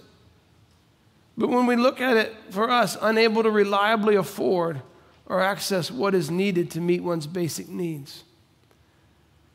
You know, we may come to this place before we're out of here. It's a possibility based off things that the prophet told us. And you know what? That little plastic card that you pull out of your wallet and use when you buy groceries, that may not work someday. And every government system may fail, and if it doesn't fail, it may fail us because we won't be part of the system. We're going to have to know where our sustenance comes from. We're going to have to know who's been providing it all along never was your job. It never was your account. It never was your card. It never was the government. That's never what provided it. Those are the mechanisms God's used to feed you and care for you. But that God's not limited to those mechanisms. When they go away, He has other, other mechanisms. When Elijah lost his mechanism, he sent ravens. When, when the brook dried up, he sent her to a widow woman. God has never been without resources. Amen. When Elijah was running away and there was no widow woman and there was no ravens, he just sent an angel to bake him some special cakes. Amen. When, when, when Elisha the prophet was in Dothan and he was surrounded, amen, by the armies of Syria, and, and, and his servant wakes up and he's, and he's all nervous because we're surrounded by the Syrian army. Elisha wasn't worried at all. Amen. He had nothing to feel insecure about. Why should Elisha feel insecure? Amen. He could look out in the spirit and he could see surrounding the Syrian army was another army, and it was angels and chariots of fire all upon the hillside. He had nothing to feel insecure about. Gehazi couldn't look into the spiritual realm, so Gehazi could only see in the natural. And in the natural, it looked like he was at risk, it looked like he was in danger, it looked like he was insecure. But the truth is, he was never in danger, he was never insecure, he was never at risk. And that's what Elisha knew. And Brother Branham told us he comes to a meeting and he says, There's angels lining the walls of this building. And the question is, can we look into the spiritual realm and recognize that the angel of the Lord encompasses about them that fear him? Amen. In the times of trouble, in the times of disaster, in the times of fear, amen, you can't stop your body from reacting to a situation. You can't stop the anxiety, the adrenaline dump. You can't stop that. That's just a natural reaction because you live in a natural body. But as soon as you get a, hold of your senses, you have to say, wait a minute, flesh. I know you're scared and I know you're reacting. Amen. But there's another power higher than whatever power we're facing, and that's the power of God. He's promised in His Word, and His Word can't fail. So listen here, flesh. You who wants to run away and you who's scared and you want to scream, stop it. Sometimes we just have to know how to possess our vessel and not let our vessel possess us. We've got, we've got to learn how to rule and reign with Christ. So we got to rule and reign this little bit of earth first before we rule in the millennium. And sometimes you've got to pull it back down and say, wait a minute, you're not running this show, you're not leading our decisions. I'm not following your lead. You little terrified, scaredy cat. Who are you talking to? The one in the mirror? You stop it right now. Because I put my trust in the Lord, and He shall deliver me. Amen.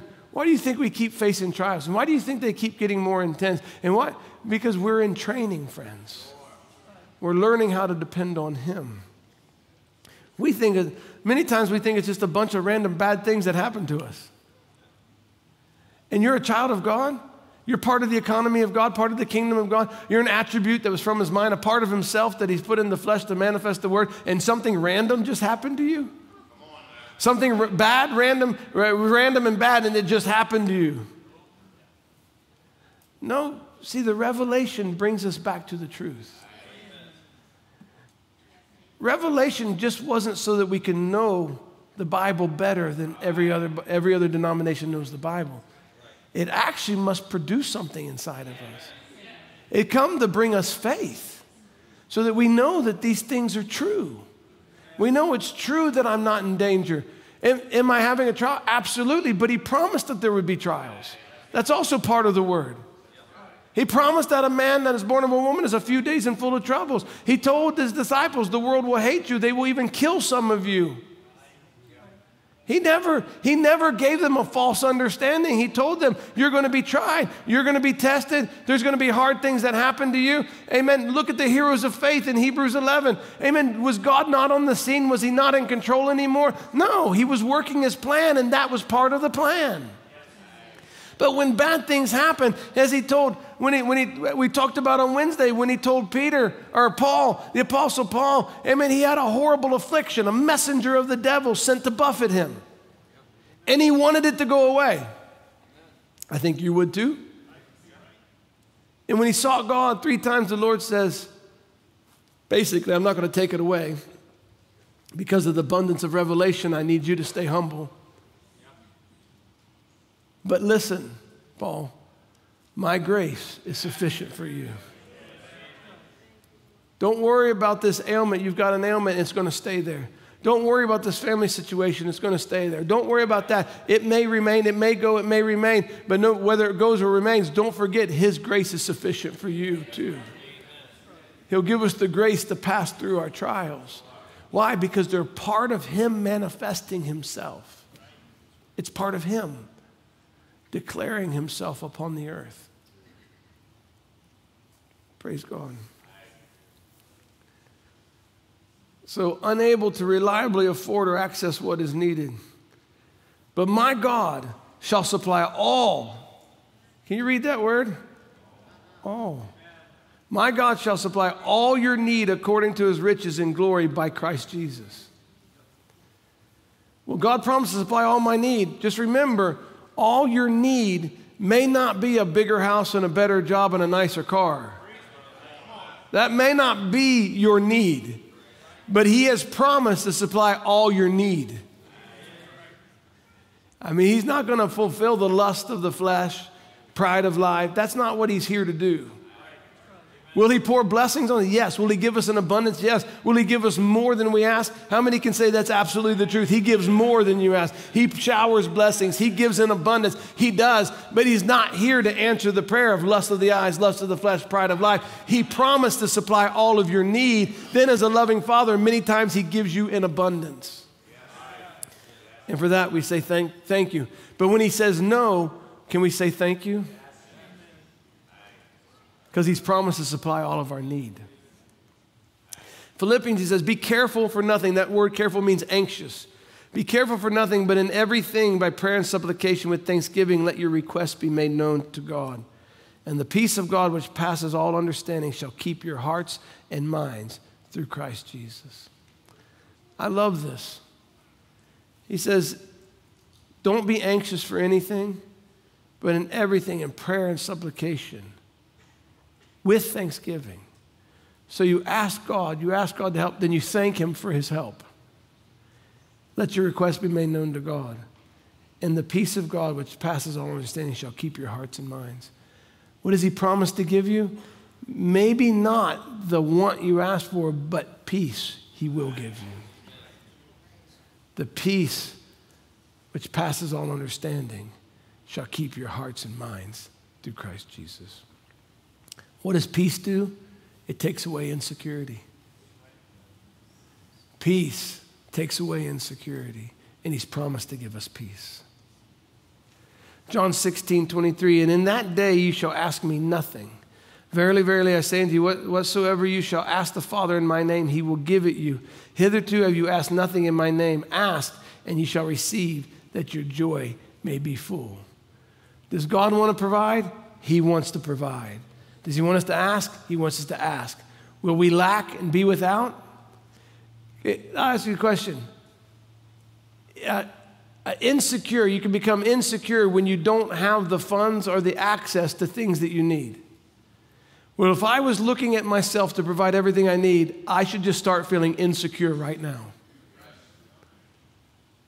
But if I don't look at myself and I look at him to be the one that provides, he's the one who told us that, that don't, don't seek after garments, don't worry about raiment, don't worry about all these things. The Gentiles seek after that, but consider the lily. It neither toils nor spin, but Solomon in all of his glory was not arrayed like one of these. Amen. Look at the bird, not, not one of them falls to the ground that God doesn't know, it, and they have no, no material value. If God looks after a bird, what about you?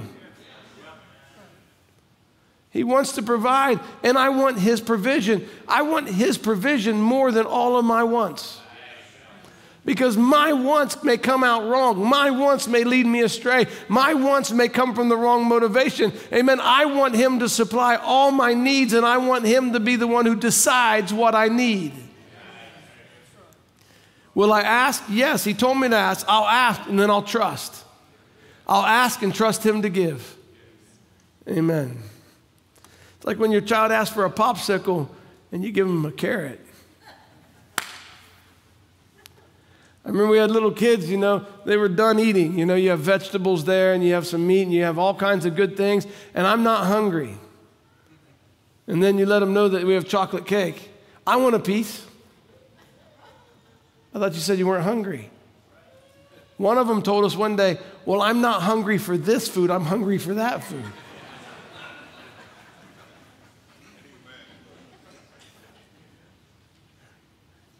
You said you weren't hungry, but you're hungry. I don't want to be like that with what God's provided me. I ask for something and He gives me the best thing I need. We pray for comfort and peace and He gives us trials and tribulations. Amen. Because trials and tribulations are better than comfort or peace. Our comforts are just beyond the river. And when He gives me a carrot instead of a popsicle, I want to say, Thank you, Lord. You provide all my needs. Praise be to God. Amen. What are we preaching about? Maturity. But it's such a simple subject, and we're failing every day. Amen. But, Brother Chad, this is so simple. It's absolutely so simple, and it's the hardest thing I've ever done in my life. Is to rein this flesh in to stop chasing security elsewhere and stay planted on the word and the word only and stop trying in my own measure and stop looking to someone else to save me and stay fastened to the word and trust God for everything I need. I don't know about you, but I need this lesson. And need it again and again and again. Amen. Brother Branham, in the message, A True That's Overlooked, he says, As I said a few Sundays ago, I thought somewhere along the road, it's not a fallout shelter, it's a fall in shelter where we fall into it headlong with all of our heart and all of our soul and all of our mind into Christ, God's ark of safety. People are looking for fallout shelters. I'm looking for the fall in shelter. I want to fall on that stone that was cut out of the mountain without hands. I want to run into that strong tower and be saved. Amen. I want to be found in Christ because how can you have any greater security than in Christ? Amen. And how can you have any greater security in your heart than Christ in you, the hope of glory? You in Him and Him in you. That's our security. Praise God. John 14, he says, These things have I spoken unto you, being yet with you, but the Comforter, which is the Holy Ghost, whom the Father will send in my name, he shall teach you all things and bring all things to your remembrance whatsoever I said unto you. Peace I leave with you, my peace I give unto you. Not as the world giveth, give I unto you. Let not your heart be troubled, neither let it be afraid. He's giving true peace, not the false peace, not what the world offers, but He gives us true peace. Amen. Oh, praise God. I think I went the wrong way. Okay. I want to go to one scripture. I don't have it in my, in my slides. But if you turn with me to Ephesians chapter 1. Brother Branham makes a statement, and I want to look at that statement, and I want to read here from Ephesians chapter 1. And it comes from questions and answers in 1961. I don't even remember what the question was that was asked, but I just pulled this little excerpt out of it. And Brother Branham says, if you notice Paul in going down, he always had trouble with the Corinthian church. He never found them that way. He never said nothing about it to the Ephesian church. He could teach them eternal security. There's nothing about eternal security in the Corinthian church. They were always babies trying. One's got a tongue, one's got a psalm. Isn't that right? And so now he begins to parallel the epistles to the Corinthians with the epistles to the Ephesians. And he shows how the Ephesians were more mature. And in their maturity, they weren't struggling about the gifts and they weren't arguing about ones of Apollos and ones of this and ones of that. And, and, and they weren't, they weren't uh, uh, misusing the gifts.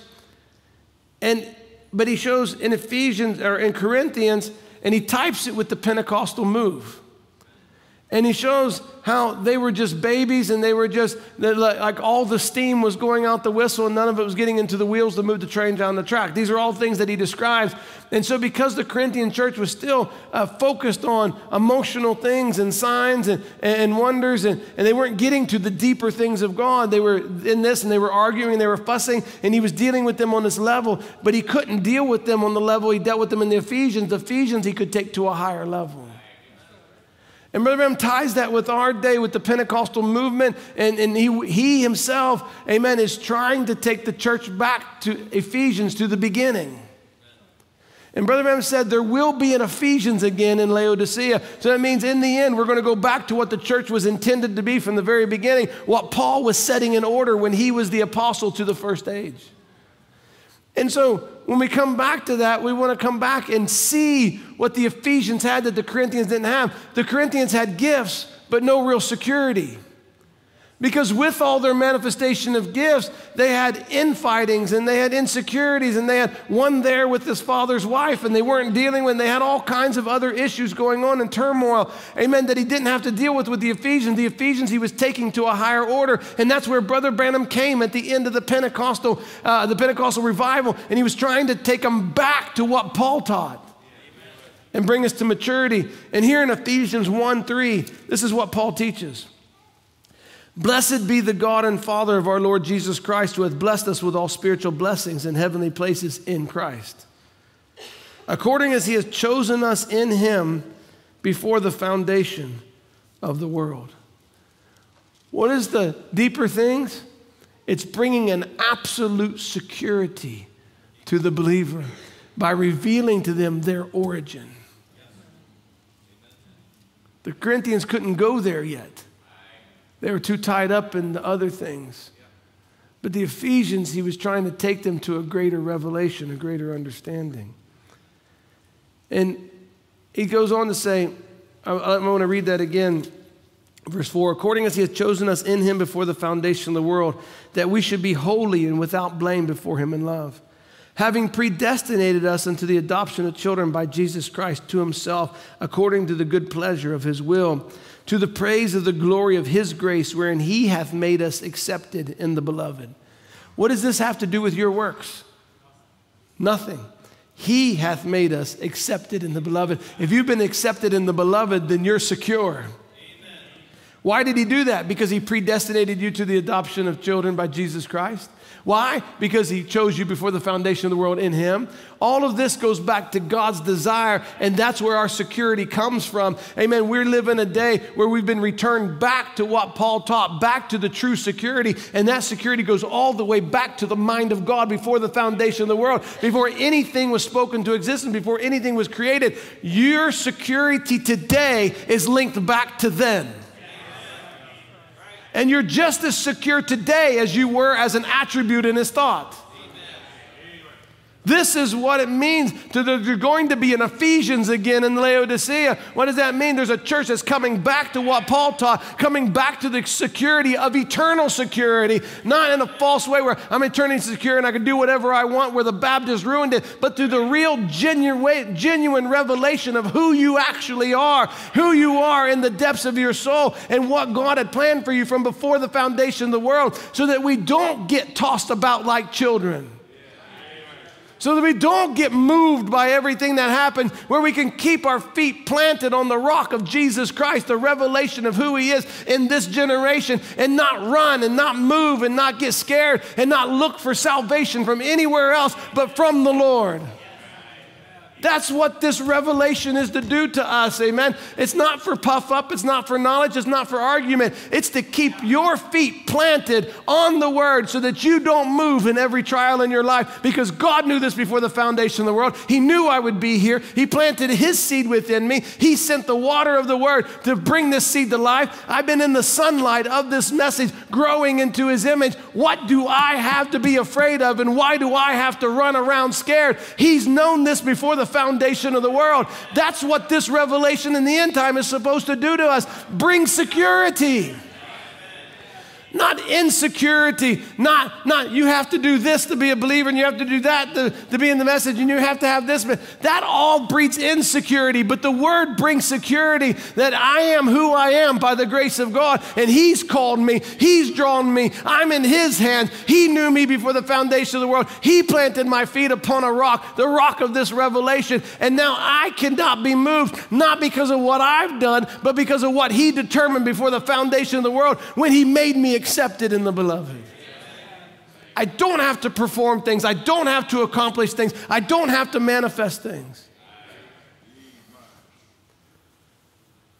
Amen. So many times that confuses people when we go to the works trying to man, trying to prove we're a believer so that we can feel secure that we're a believer. Dress right, talk right, go the right places, don't go to the wrong places. But listen, that's a natural outcropping of being a believer. Those things cannot make you a believer. What that'll do is increase your insecurity. First thing we do is come to the security of Christ by the revelation of his predestinated plan for our life. And then stay planted there and let the fruit just come out. You mean I don't have to dress right? I don't have to, I don't. Listen, you were a child of God before you knew how to dress. You were a child of God before you knew how to walk. You just weren't born again. You weren't awakened to it. You don't have to do any of those things. You mean I don't have to do any things? No, you don't. Brother Chad, what are you saying? I'm saying you don't have to. But if you're one of them, it's the natural outflow of being a child of God. It's what happens to the children of God. They have a life with Jesus Christ. They have a hidden life. They've been behind the veil. They have communion with Christ. Amen. They love Him with all of their hearts. They are secure in Him. He manifests Himself through them. And there's signs and wonders and dreams and vision. Amen. There's words of knowledge. There's prayers that are answered. There's supernatural events in their life. All of that is an outcropping of being a believer, but none of that can make you a believer.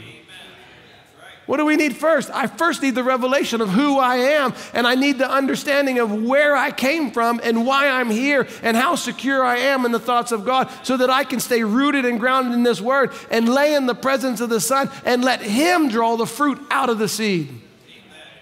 And what will we do? Dress right, talk right, go to the right places, have the right kind of family, uh, apologize when we're wrong, repent when we fail, come to church, submit to ministry, have manifestations of life. We'll have all of those things because that's the result. So, Paul now, the Apostle Paul now is telling the Ephesians, this really is bigger than you. This started before you came here.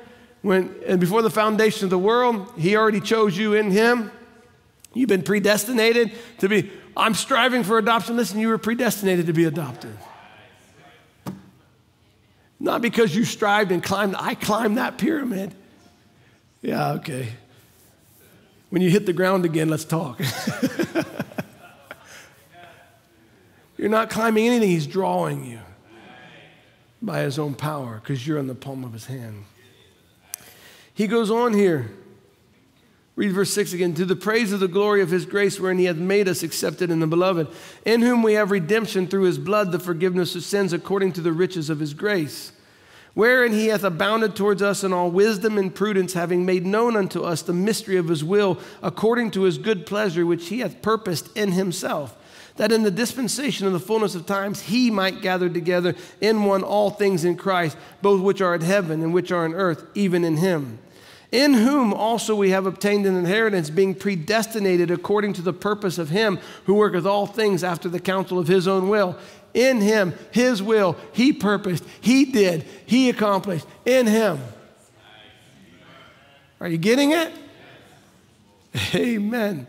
Verse 12, that we should be to the praise of His glory who first trusted in Christ, in whom also in whom ye also trusted after that you heard the word of truth, the gospel of your salvation, in whom also after that you believed, you were sealed with the Holy Spirit of promise, which is the earnest of your inheritance unto the redemption of the purchased possession unto the praise of his glory. Question is Are you secure? I'll ask you the next question Have you always been secure? But I didn't feel secure. Was God waiting for your feelings before He finished His plan? He formulated His plan before you could have feelings. So your feelings won't change His plan.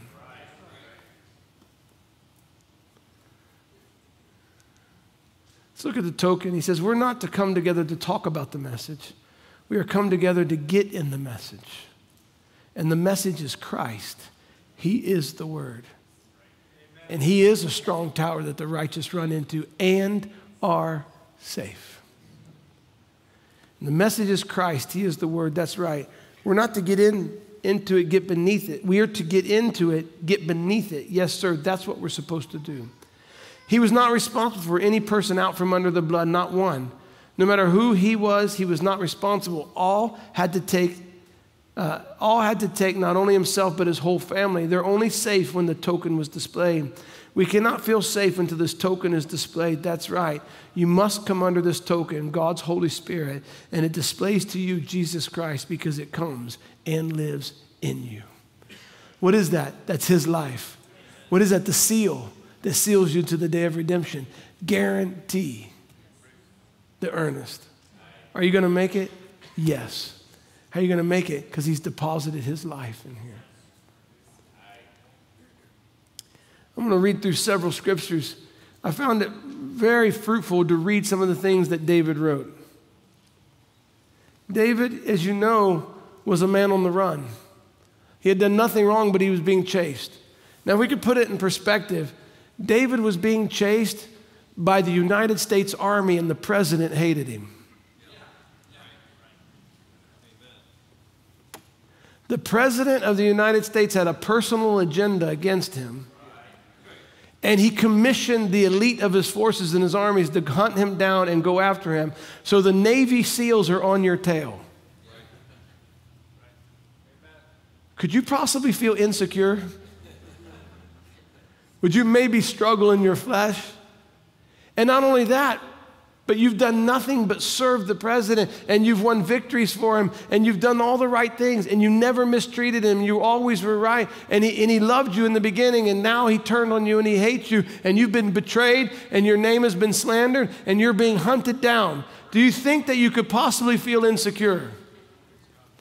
You're hiding in a cave and the Navy SEALs are coming. There's an Apache helicopter flying around looking for you. I mean, they've got night vision scopes and, and all of these things. And, and what do you think you would feel? Oh, well. So we want to put in perspective where David was when he wrote some of these Psalms. Psalm 56 What time I am afraid, I will trust in thee. In God I will praise his word. In God I have put my trust. I will not fear what flesh can do unto me. I hope you never have an Apache helicopter hunting you down. But if you do, this is still the truth. The Navy SEALs are after you. If the Green Berets have been commissioned to come and find you, this is still the truth. Psalms 56 11, In God have I put my trust. I will not be afraid of what man can do unto me. You know what creates a lot of our insecurity? Worried about other people. What will they say? What will they do? Will they try to take something from me? Will they say something about me? Will they accept me or do they not accept me? Will they promote me or not promote me? Do they like me or not like me? And we get all kinds of insecurity about other people. But we're not supposed to be afraid of what other people can do or say or think. We put our confidence in God. Psalm 9 The Lord also will be a refuge for the oppressed, a refuge in times of trouble. And they that know the name will put their trust in thee, for thou, Lord, hast not forsaken them that seek thee. Psalms 125 They that trust in the Lord shall be as Mount Zion.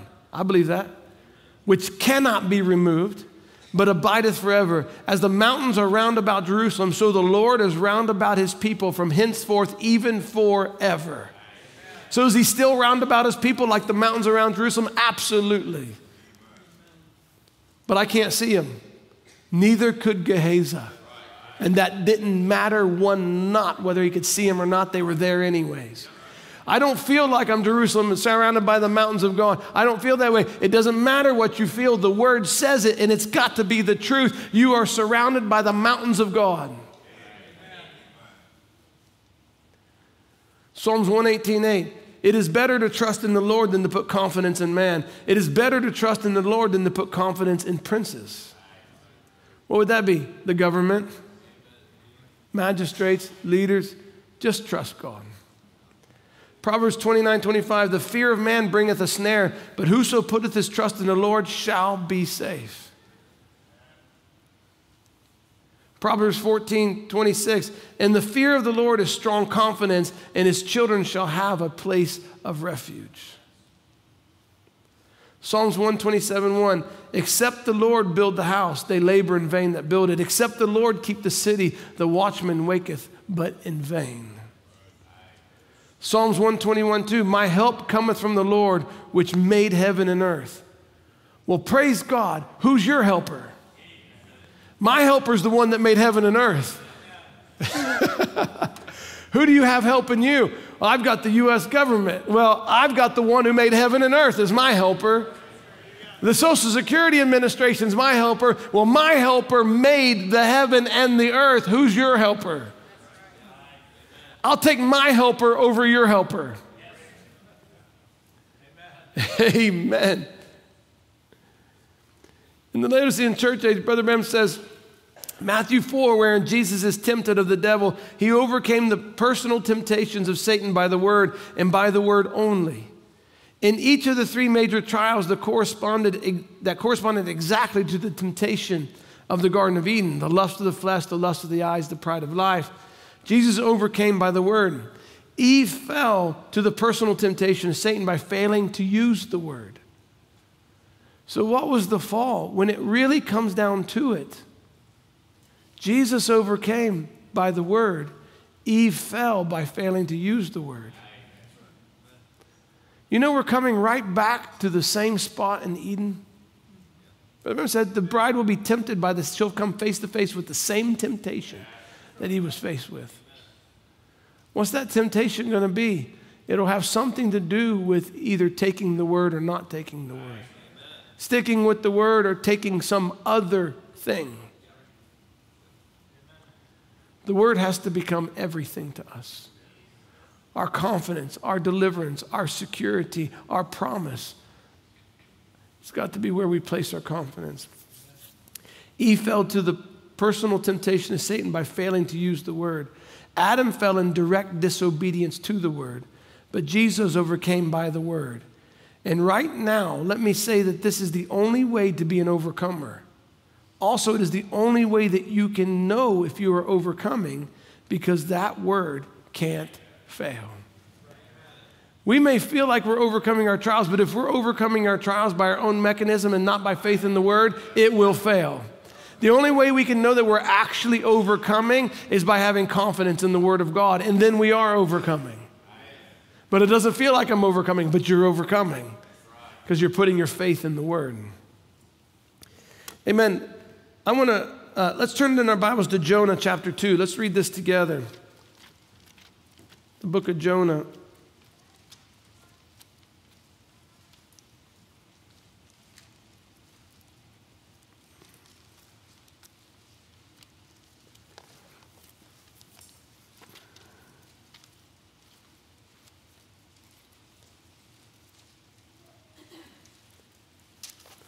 Jonah chapter 2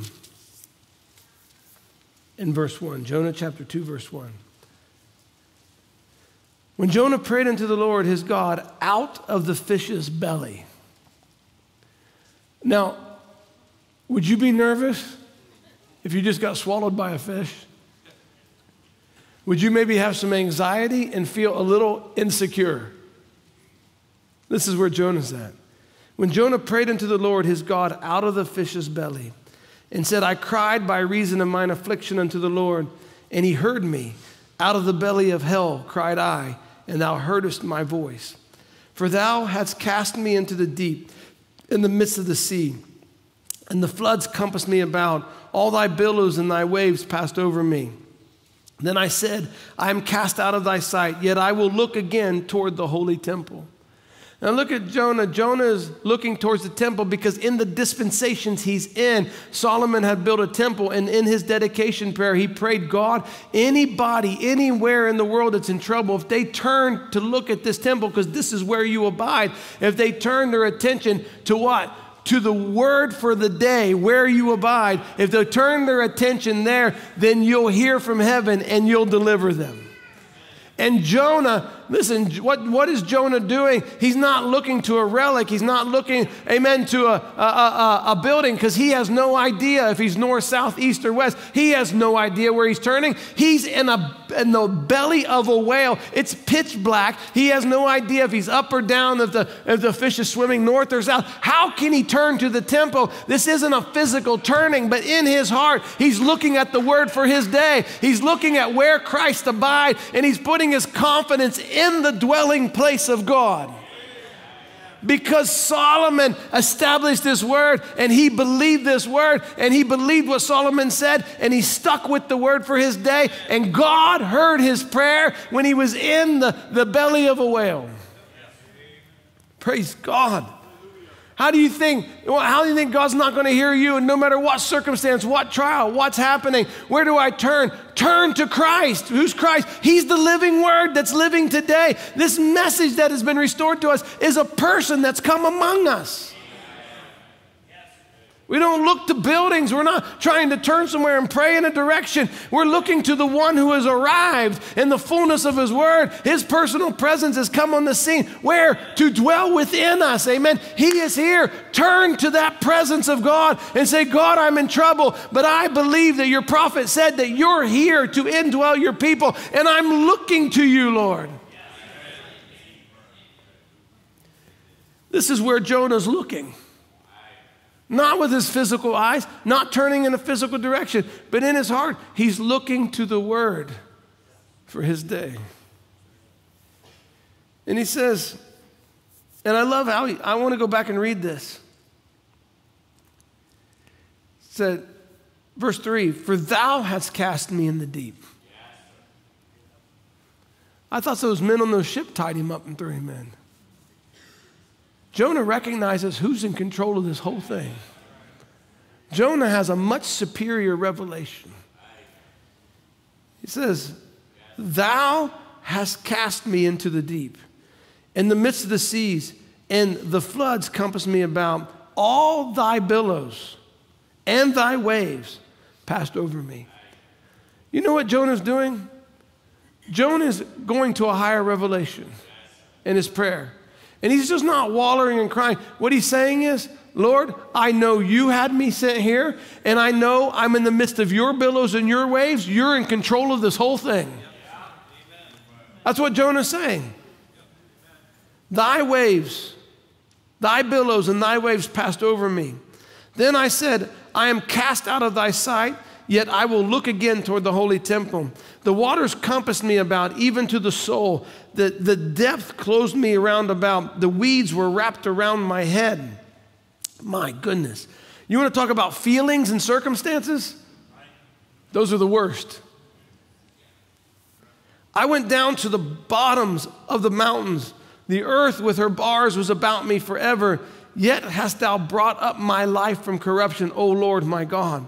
When my soul fainted within me, I remembered the Lord, and my prayer came in unto thee, unto thine holy temple. They that observe lying vanities forsake their own mercy.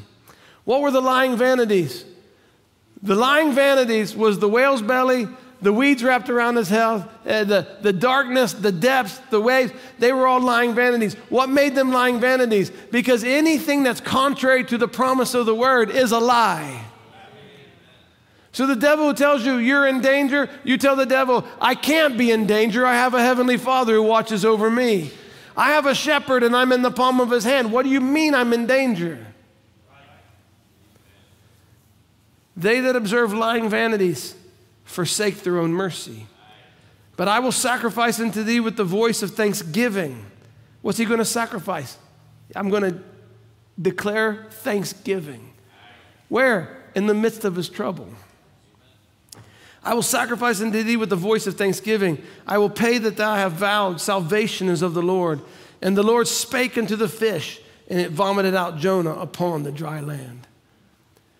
I can attest to you, I have never been in a circumstance that bad. I felt like I've been in bad circumstances. I have never been in a circumstance that bad. But if I ever find myself in a circumstance that bad, may I do what Jonah did and said, Lord, I you cast me here. I'm surrounded by what you've provided. I'm here at your bidding. I'm here at your leadership. I, I, I may have made mistakes. I may have done wrong, but you foresaw before the foundation of the world. And I'm looking to the word that you've given to us and to the promises. And I'm saying, Lord, come and deliver me. Lord, come and save me for thy glory, Lord. And thank you for keeping your word. Praise God. Thank you for keeping your word.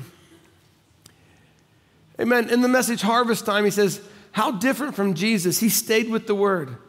Now, the next few minutes, I want to prove all these things true. See, by both nature and word, bring this together. This proves he was the word made flesh for bread. He was the word made flesh, for he reflected what? The word only. When he come into his temptation, he used what? Only the word. What did he reflect? The word. Amen. What's his bride to do? She's to become the word and to reflect the word. So, what should she use in all of her troubles? The word. Where should her confidence be? In the word. What, what should she be declaring and praying or speaking? The word. This is what we're being trained for. And Christ is the mystery of God revealed, Brother Branham says. He proves his resurrection life, then as he vindicates himself. She, the bride, is independent from all others. I love that. That's where we need to be. Independent. That we, we don't need someone else's support to serve God. He's all I need. I, do I want other support? Yes, I want it. Did, did God provide it? Yes, He's provided it. But I don't want to get to where I need it. If I need it, He'll provide it. If He doesn't provide it, I don't need it. So we got to get our minds adjusted to the perfection of God, amen, and, and, to God's sovereignty, and say, God, I would love to have a friend, but if you don't provide a friend, you're all I need. God, I ask you for more fellowship, but if you see fit not to give it, then you're all I need. That we can ask for what we want, ask for what we need, but He knows what we need. Sometimes we need to be in fellowship, sometimes we need to be alone. Sometimes we need everybody who loves us not to call us for a week and leave us wondering why nobody likes us anymore and start feeling lonely and start feeling rejected and start feeling outcast because sometimes that's where we need to be so we start thinking so God can start speaking to our hearts. But when we get in that place, we get desperate, we start calling and reaching out. And, and really, what God's trying to do, and you call somebody, they don't have time for you. You call somebody else, they don't answer the phone. You call somebody else, they just left on vacation. And you wonder, what's happening to me? I'm being abandoned. You're not being abandoned. God wants to talk to you. God wants you to know you don't need a friend. All you need is me. If I see that you need a friend, I'll give you a friend when you need a friend. But what you need more than anything is me. You need a relationship with me. You need time with me. You need confidence in me. I am all that you need, and I'm the provider of everything you need. And when you need fellowship, I'll give you fellowship. When you need a friend, I'll give you a friend. Amen. When you need deliverance, I'll give you deliverance. But put your trust in me. She is independent from all others. She's an independent woman. Praise God. I remember when I first read that, and I'm like, is she allowed to be like that? She's not independent from Christ. She's dependent on Christ. But her dependency on Christ makes her independent from dependency anywhere else. She's an independent woman, a great speckled word that's different from all others. You remember the Bible on that, the great speckled bird. She had his name, she had his life. How did they speckle the bird? they were both white, and they pulled the head off of one bird and drained the blood out on the other bird. And the other bird was speckled with the red blood, and it flopped its wings like this, and the blood cried, Holy, holy, holy, as it made the ground.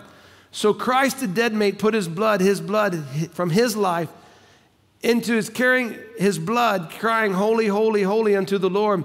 It's an odd looking bird, sure it is.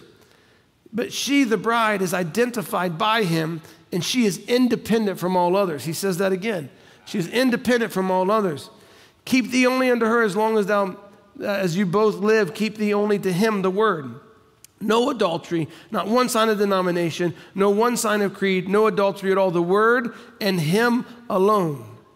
On Christ, the solid rock I stand, all other ground is sinking sands.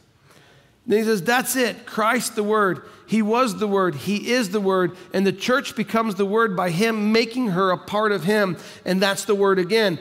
Personally identified by Him, His property alone. I love that. Nobody else has rights, his property alone. Amen. And so when, when the devil tries to push you around or cause sickness to come on you or, or cause you to have a want and need, all you have to say is, I am his property alone. I don't have to worry about it. I belong to Him. I've been bought with the blood of Jesus Christ. I belong to Christ. I am His property alone. Amen. And He knows how to take care of His property. His property alone. She is redeemed by Him. Catch this. She is redeemed by Him, through Him, for Him, and for Him alone. That's right. Then what the devil is howling about? That it's being revealed. What does God, what does the devil not want you to get this revelation of your security? Because he wants to use insecurity to move you and motivate you into leaving the word. He does not want you to come to this security where you're independent from all others and his property alone, and you've been redeemed by him alone, not by your works, but by his deeds. You've been accepted in the beloved by him, that you were chosen in him, that he paid for the price himself and that you're the recipient of all that and you're secure in Him. That's the revelation He doesn't want you to get because He wants you to still have a need and still feel insecure so that He can manipulate your insecurity to move you away from the Word. But that's not why the message came in this day. The message came to give us a real security, a genuine faith by revelation in Christ so that you can become an independent woman, independent from all others. And you can be his property and his property alone. He further down, a couple paragraphs further down, he says, Identified, oh, the devil is howling about this, the manifested truth of the promise of this word in her alone. They don't have the answer. When Jesus come, why didn't those Pharisees? He said, If I cast out devils by the finger of God, who do you cast them out by? See, he stood alone. And his church stands alone. She is not hooked with nothing. Catch all this terminology. She stands alone. She's not hooked with nothing. Why? Because if you're hooked to something, you can be pulled around by that. If you're attached or tied to something, you can be moved and manipulated by whatever you're attached or tied to. And his church stands alone. She's not hooked with nothing. But he was identified by God being the body that God dwelled in. And the church is identified by his body doing the same thing. She is his body, the manifested truth of his promised word for the last days. And she and she alone stands by it. That's why the devil is howling. These great organizations to set up something to close her up, they'll never do it. She'll be taken up, not closed up. She is now risen, and by the power of the vindicated word promised to her. Why are we not afraid? Because I'm seated right now in heavenly places in Christ Jesus. I've been lifted up by the message of the hour, and I have been, there's a part of me that has been lifted above all of this trouble and secure in Him already. In the message Harvest Time, he says, I trust now that the Lord will bless his word. I'm a firm believer in the word and the word only. Just the word only. And that's the message that the Lord has given me. So, what is the message the Lord gave him? The word only. What do we need? Christ and him alone. As we close, I just want to read two scriptures together. Let's go to Psalms chapter 31 and read these two places in Psalms, and then we'll finish.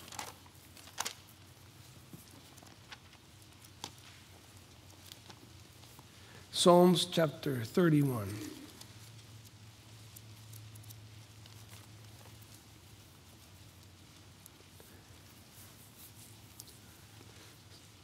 Psalms 31, this is another psalm of David. Psalms 31 19. Oh, how great is thy goodness, which thou hast laid up for them that fear thee, which thou hast wrought for them that trust in thee before the sons of men.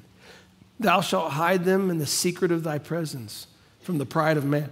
Thou shalt keep them secretly in a pavilion from the strife of tongues. Blessed be the Lord, for he has showed me his marvelous kindness in a strong city. For I said in my haste, I am cut off from before thine eyes. Nevertheless, thou heardest the voice of my supplications when I cried unto thee. Oh, love the Lord, all ye his saints. For the Lord preserveth the faithful, and plentifully rewardeth the proud doer. Be of good courage, and he shall strengthen your heart, all ye that hope in the Lord.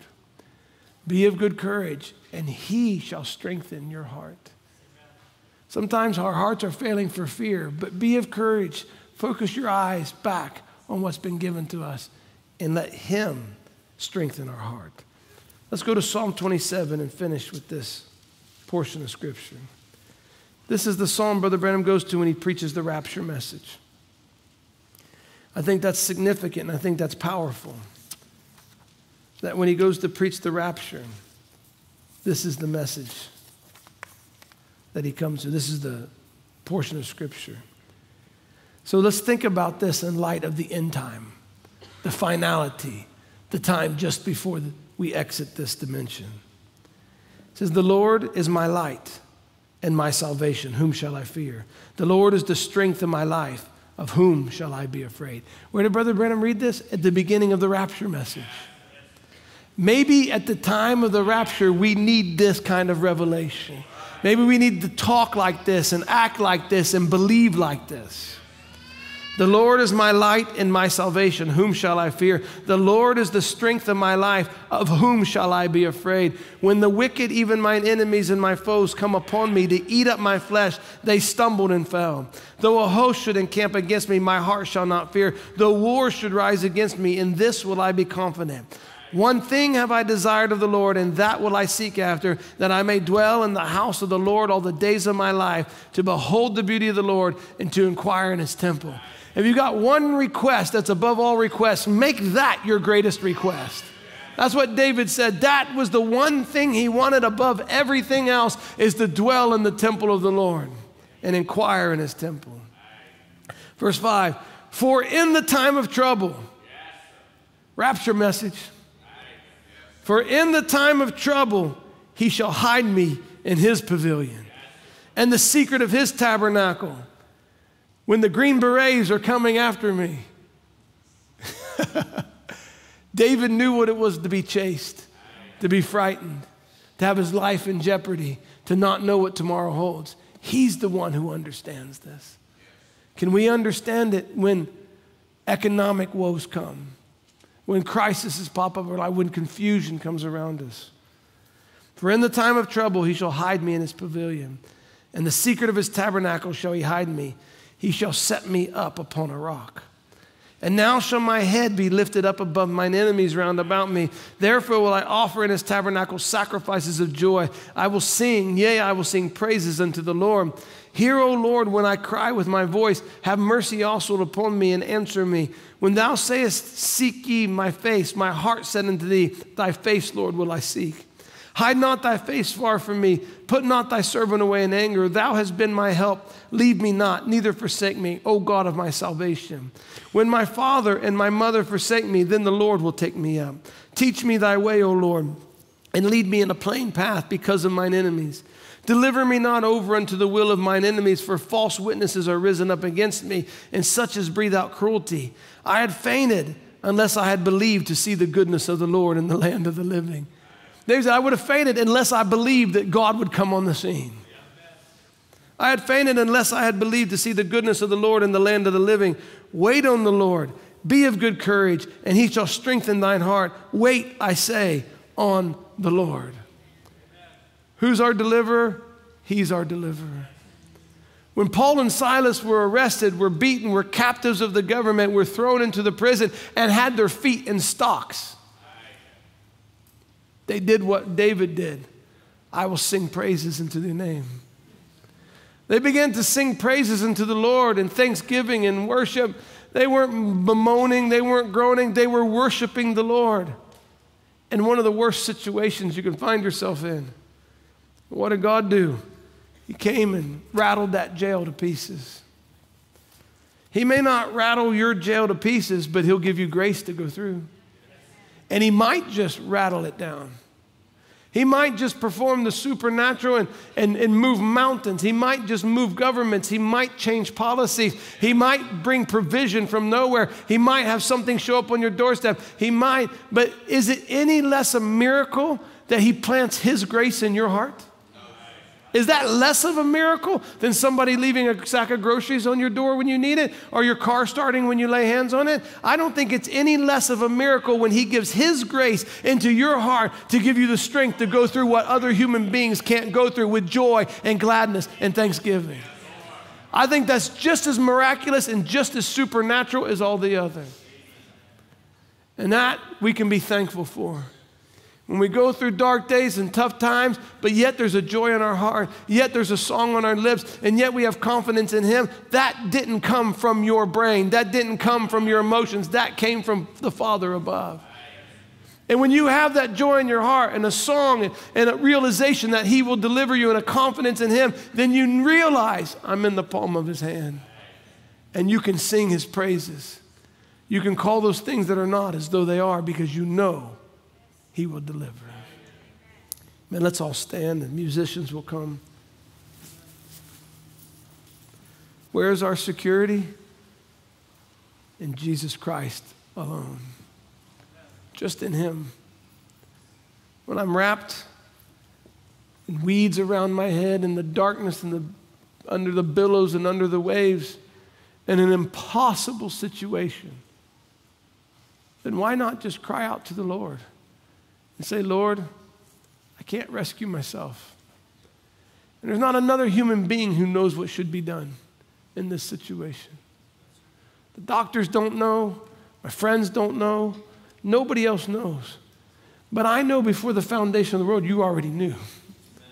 And you know just what I need, and you can supply my every need to go through this trial, and you can move all the obstacles away. So I'm turning my eyes to you, and I'm looking to you, and I'm trusting in you. And I'm offering my sacrifice of thanksgiving to you, who is my deliverer, my sustainer, my redeemer, my healer, and the strength that carries me through. And I can praise you for all of that. Amen. The devil would love for us to be insecure, but this message came to bring us a security. It came to make us stable, it came to put us on a rock. It came to make us an independent woman, separated from all others, His and His alone. That's why this message came. And I believe all the things we're going through is bringing us closer and closer to that position. He knows what He's doing, friends. He knows exactly what He's doing. And I just want to surrender to His will. Let's bow our heads together to pray. Dear Heavenly Father, we thank you, Jesus, for this day you've given us. For the word, Lord, it means more to us than anything. God, when we see the we see the troublesome times that we're in and men's hearts failing for fear, mental illness, drug abuse, entertainment. God, all of it is escapism. A desire for man to stick his head in a hole and hope that trouble passes. But God, we know by your prophet's message that trouble is not passing, it's intensifying. Lord, we recognize that this earth has to be purged by fire, atomic and volcanic, and it has to bring forth a bright new world for a millennium. But God, our confidence in you is that you'll rescue us before that time, for you've promised it. And whatever leads up to that, we're trusting in you. We're turning our eyes to you and saying, My confidence is in you. You're the strong tower that I've run to and am safe. Lord, I thank you for giving us security in your word, for we can't find it anywhere else. God, those individuals that are among us who are still perplexed and frightened, God, they need their heart strengthened. God, things happen to us, you understand, you know. You know what happened to me when I got the call of my dad dying suddenly. I couldn't help myself, Lord. The fear came in, but Lord, you helped me. There's others that are here that have an insecurity, a wound, Lord, that's still causing them problems. But God, your word has come to heal us.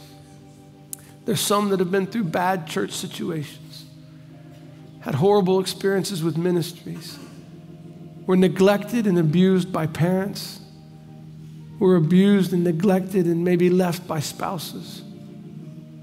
God, and it leaves something inside our heart of flesh.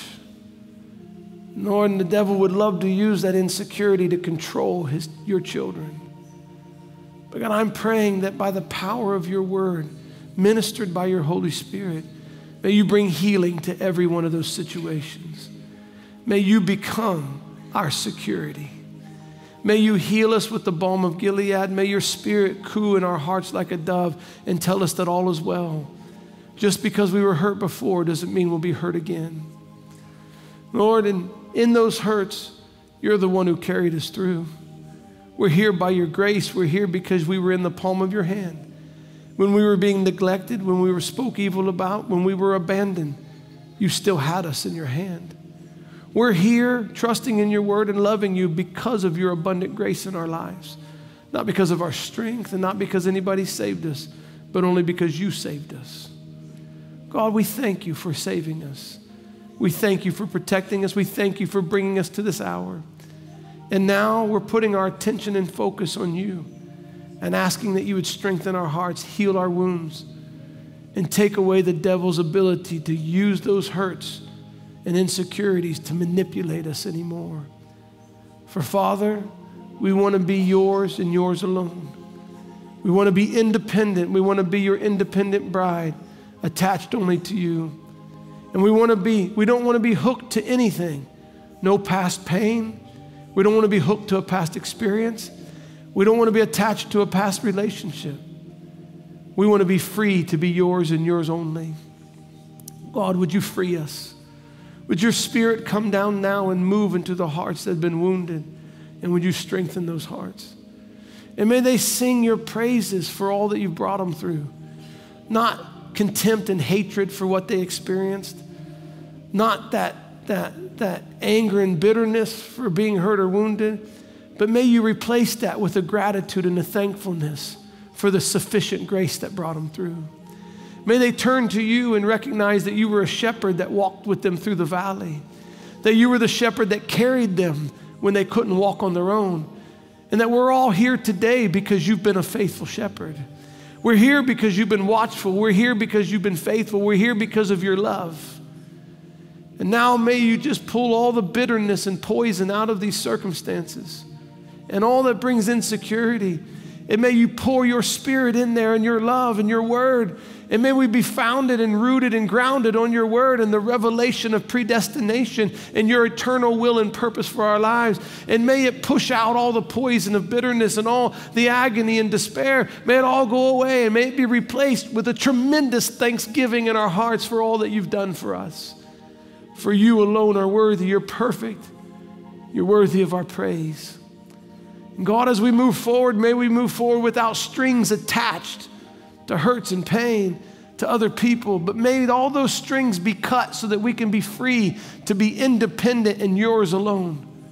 And may you, Lord, we recognize the firm foundation that we're standing on and recognize our security in you. And may all those little fear buttons that get pushed, may they be pushed away so that we can have confidence in you alone.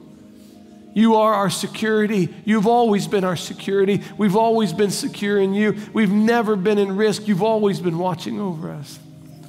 God, I say thank you for everything I've been through in my life, for your grace has always been sufficient for me.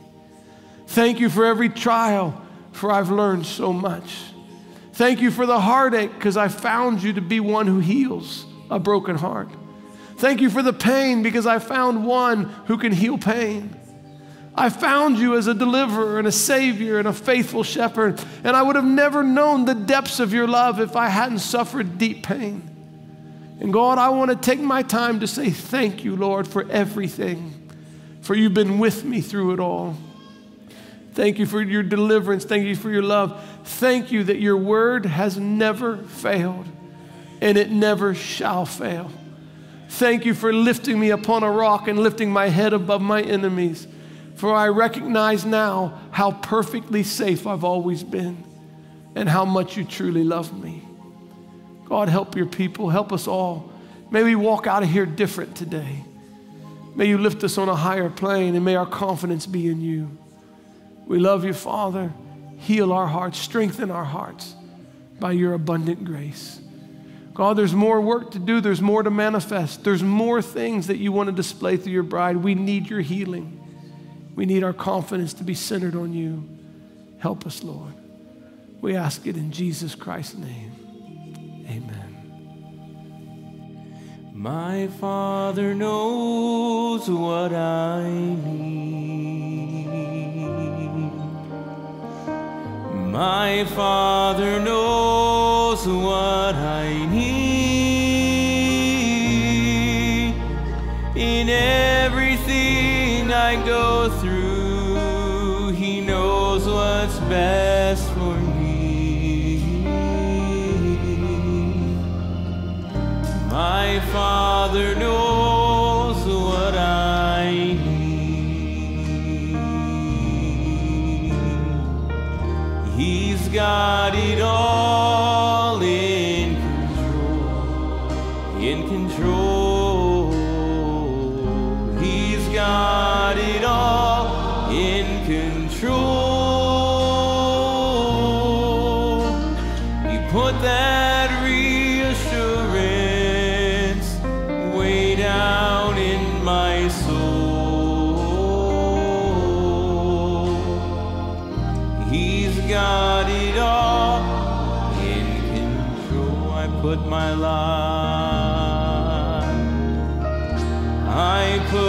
my life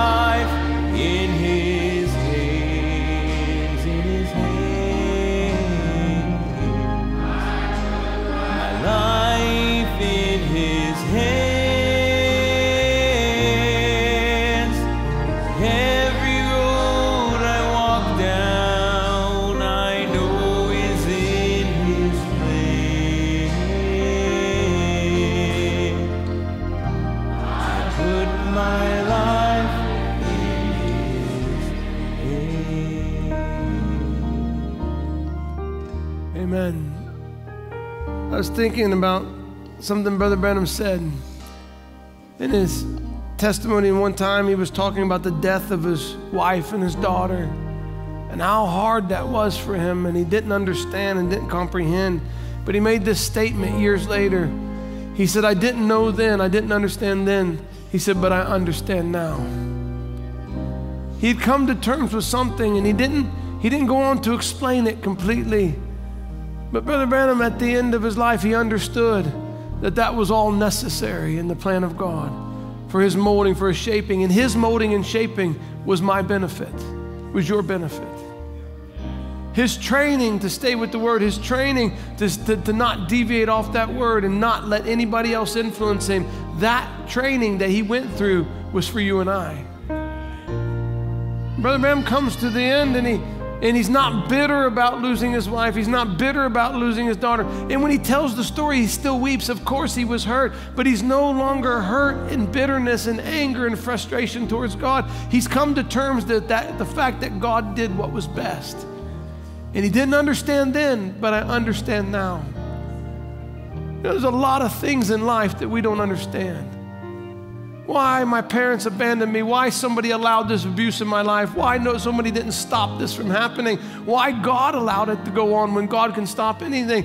There's so many th- those things we deal with in life, and those questions roll around and around in our heart. But can we look to the predestinated plan of God and recognize that God has a purpose in it all that I don't understand why, but it had to be that way for something in His kingdom to work out? But Brother Jay, you don't know the pain. You don't know. I don't know your pain. The only pain I can identify with is my own. But I met a Savior who can heal pain.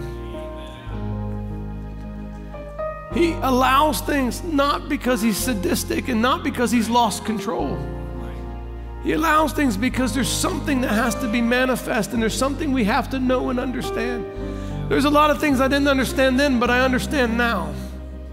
I understand them now. I can say what Brother Branham said. I may not have a full picture, but there's things about my childhood I didn't understand, but I understand them now. When I was a little boy, my parents divorced when I was five years old. We were drugged from pillar to post. I went to maybe 11 or 12 different schools before junior high school. Uh, my mom, she was a manager for apartment complexes to make money. We moved from one apartment to the other, and we, like I said, drugged from pillar to post. We've had blended families and mixed families and remarriages and step siblings and dad remarried, and we had, eh, it was chaos, friends. I didn't understand then. But when I sit down in my office to talk to somebody who's had pain in their family, divorce and rejection and abuse, I now feel what they feel and I understand what they understand. And, and I can give them hope and tell them there's a God that can overcome all of those things. There's a healing. Amen. I didn't understand then, but I understand now. Why I had to lose my dad when I was an 18 year old boy. I didn't understand then, but I understand now. God was separating me to Himself. And I'm not bitter about it. I'm not angry. I wasn't always that way. I was hurt and I was angry and I was upset. And, and I was a rebellious teenager and I was angry about, and I didn't even know what I was angry about. I was just mad. But this message has done something to me, friends. It has put me back in His hand.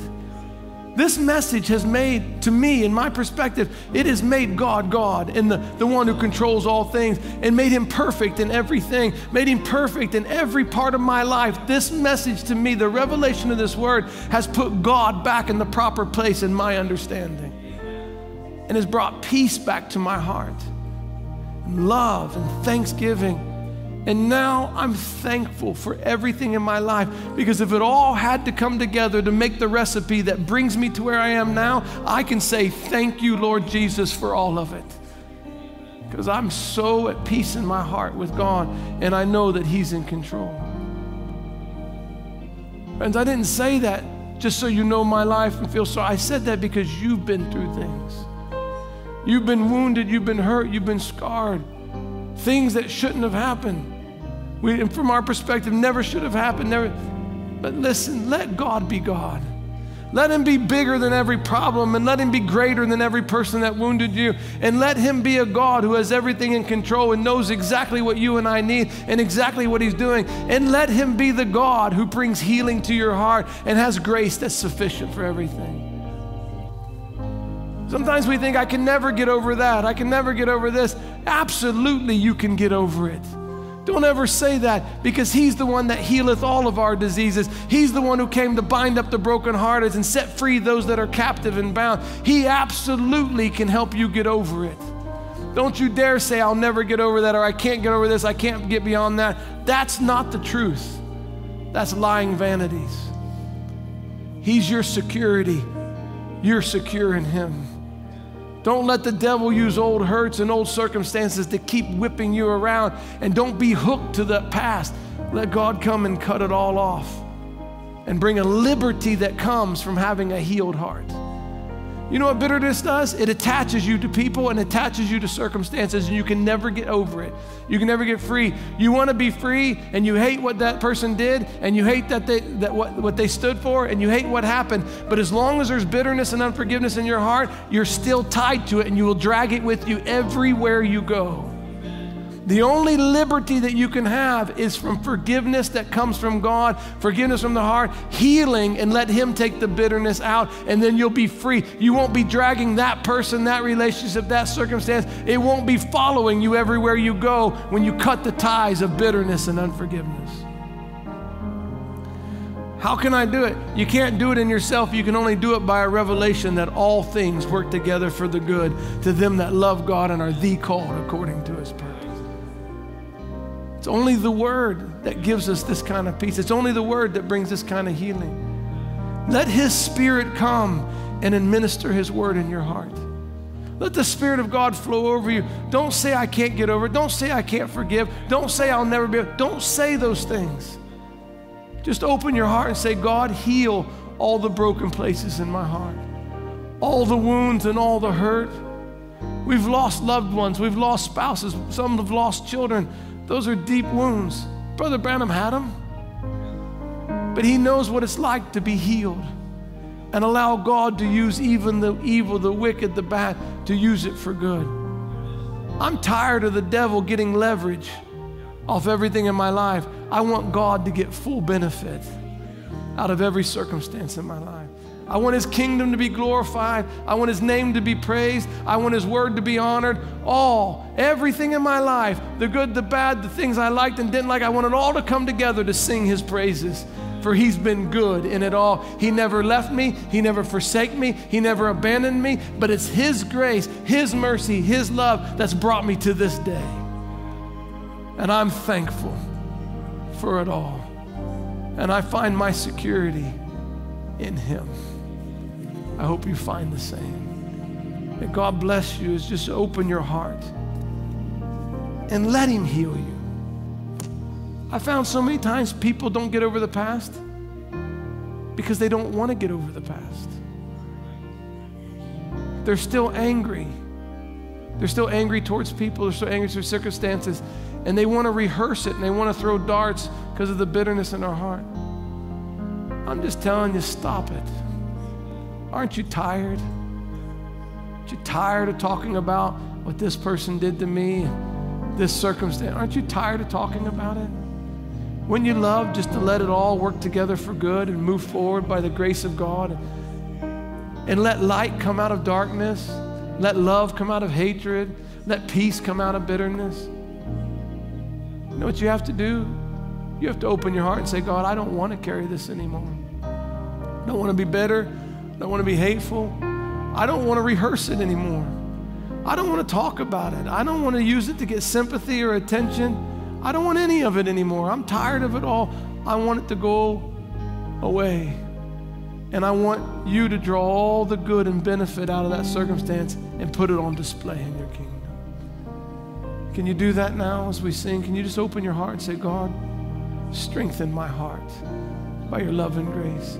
And can you thank Him? Can you thank Him for the hard times?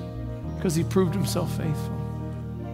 The devil tried to steer you away, tried to ruin your life before you got started. Many times before we got started, he tried to derail us, but he couldn't stop God's plan in your life, and he couldn't stop the seed from coming forth, and he couldn't stop you from shining the light. And tell me God's not good. God is wonderfully good. Amen. Let's just sing this song together. I put my life in his hands.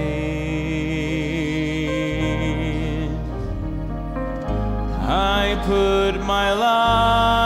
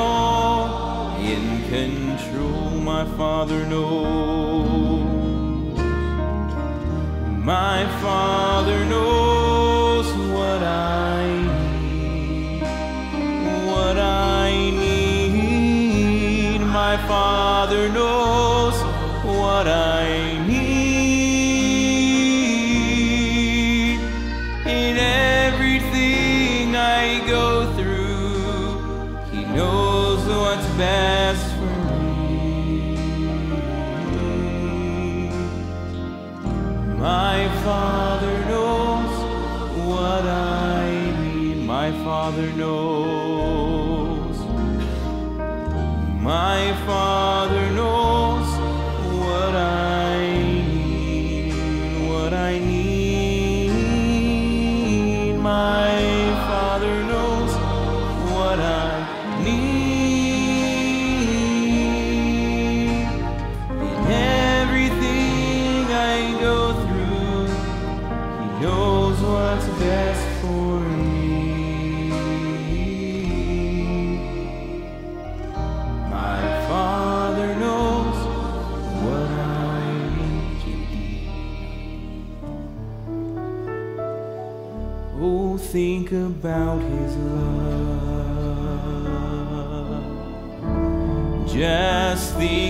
about his good.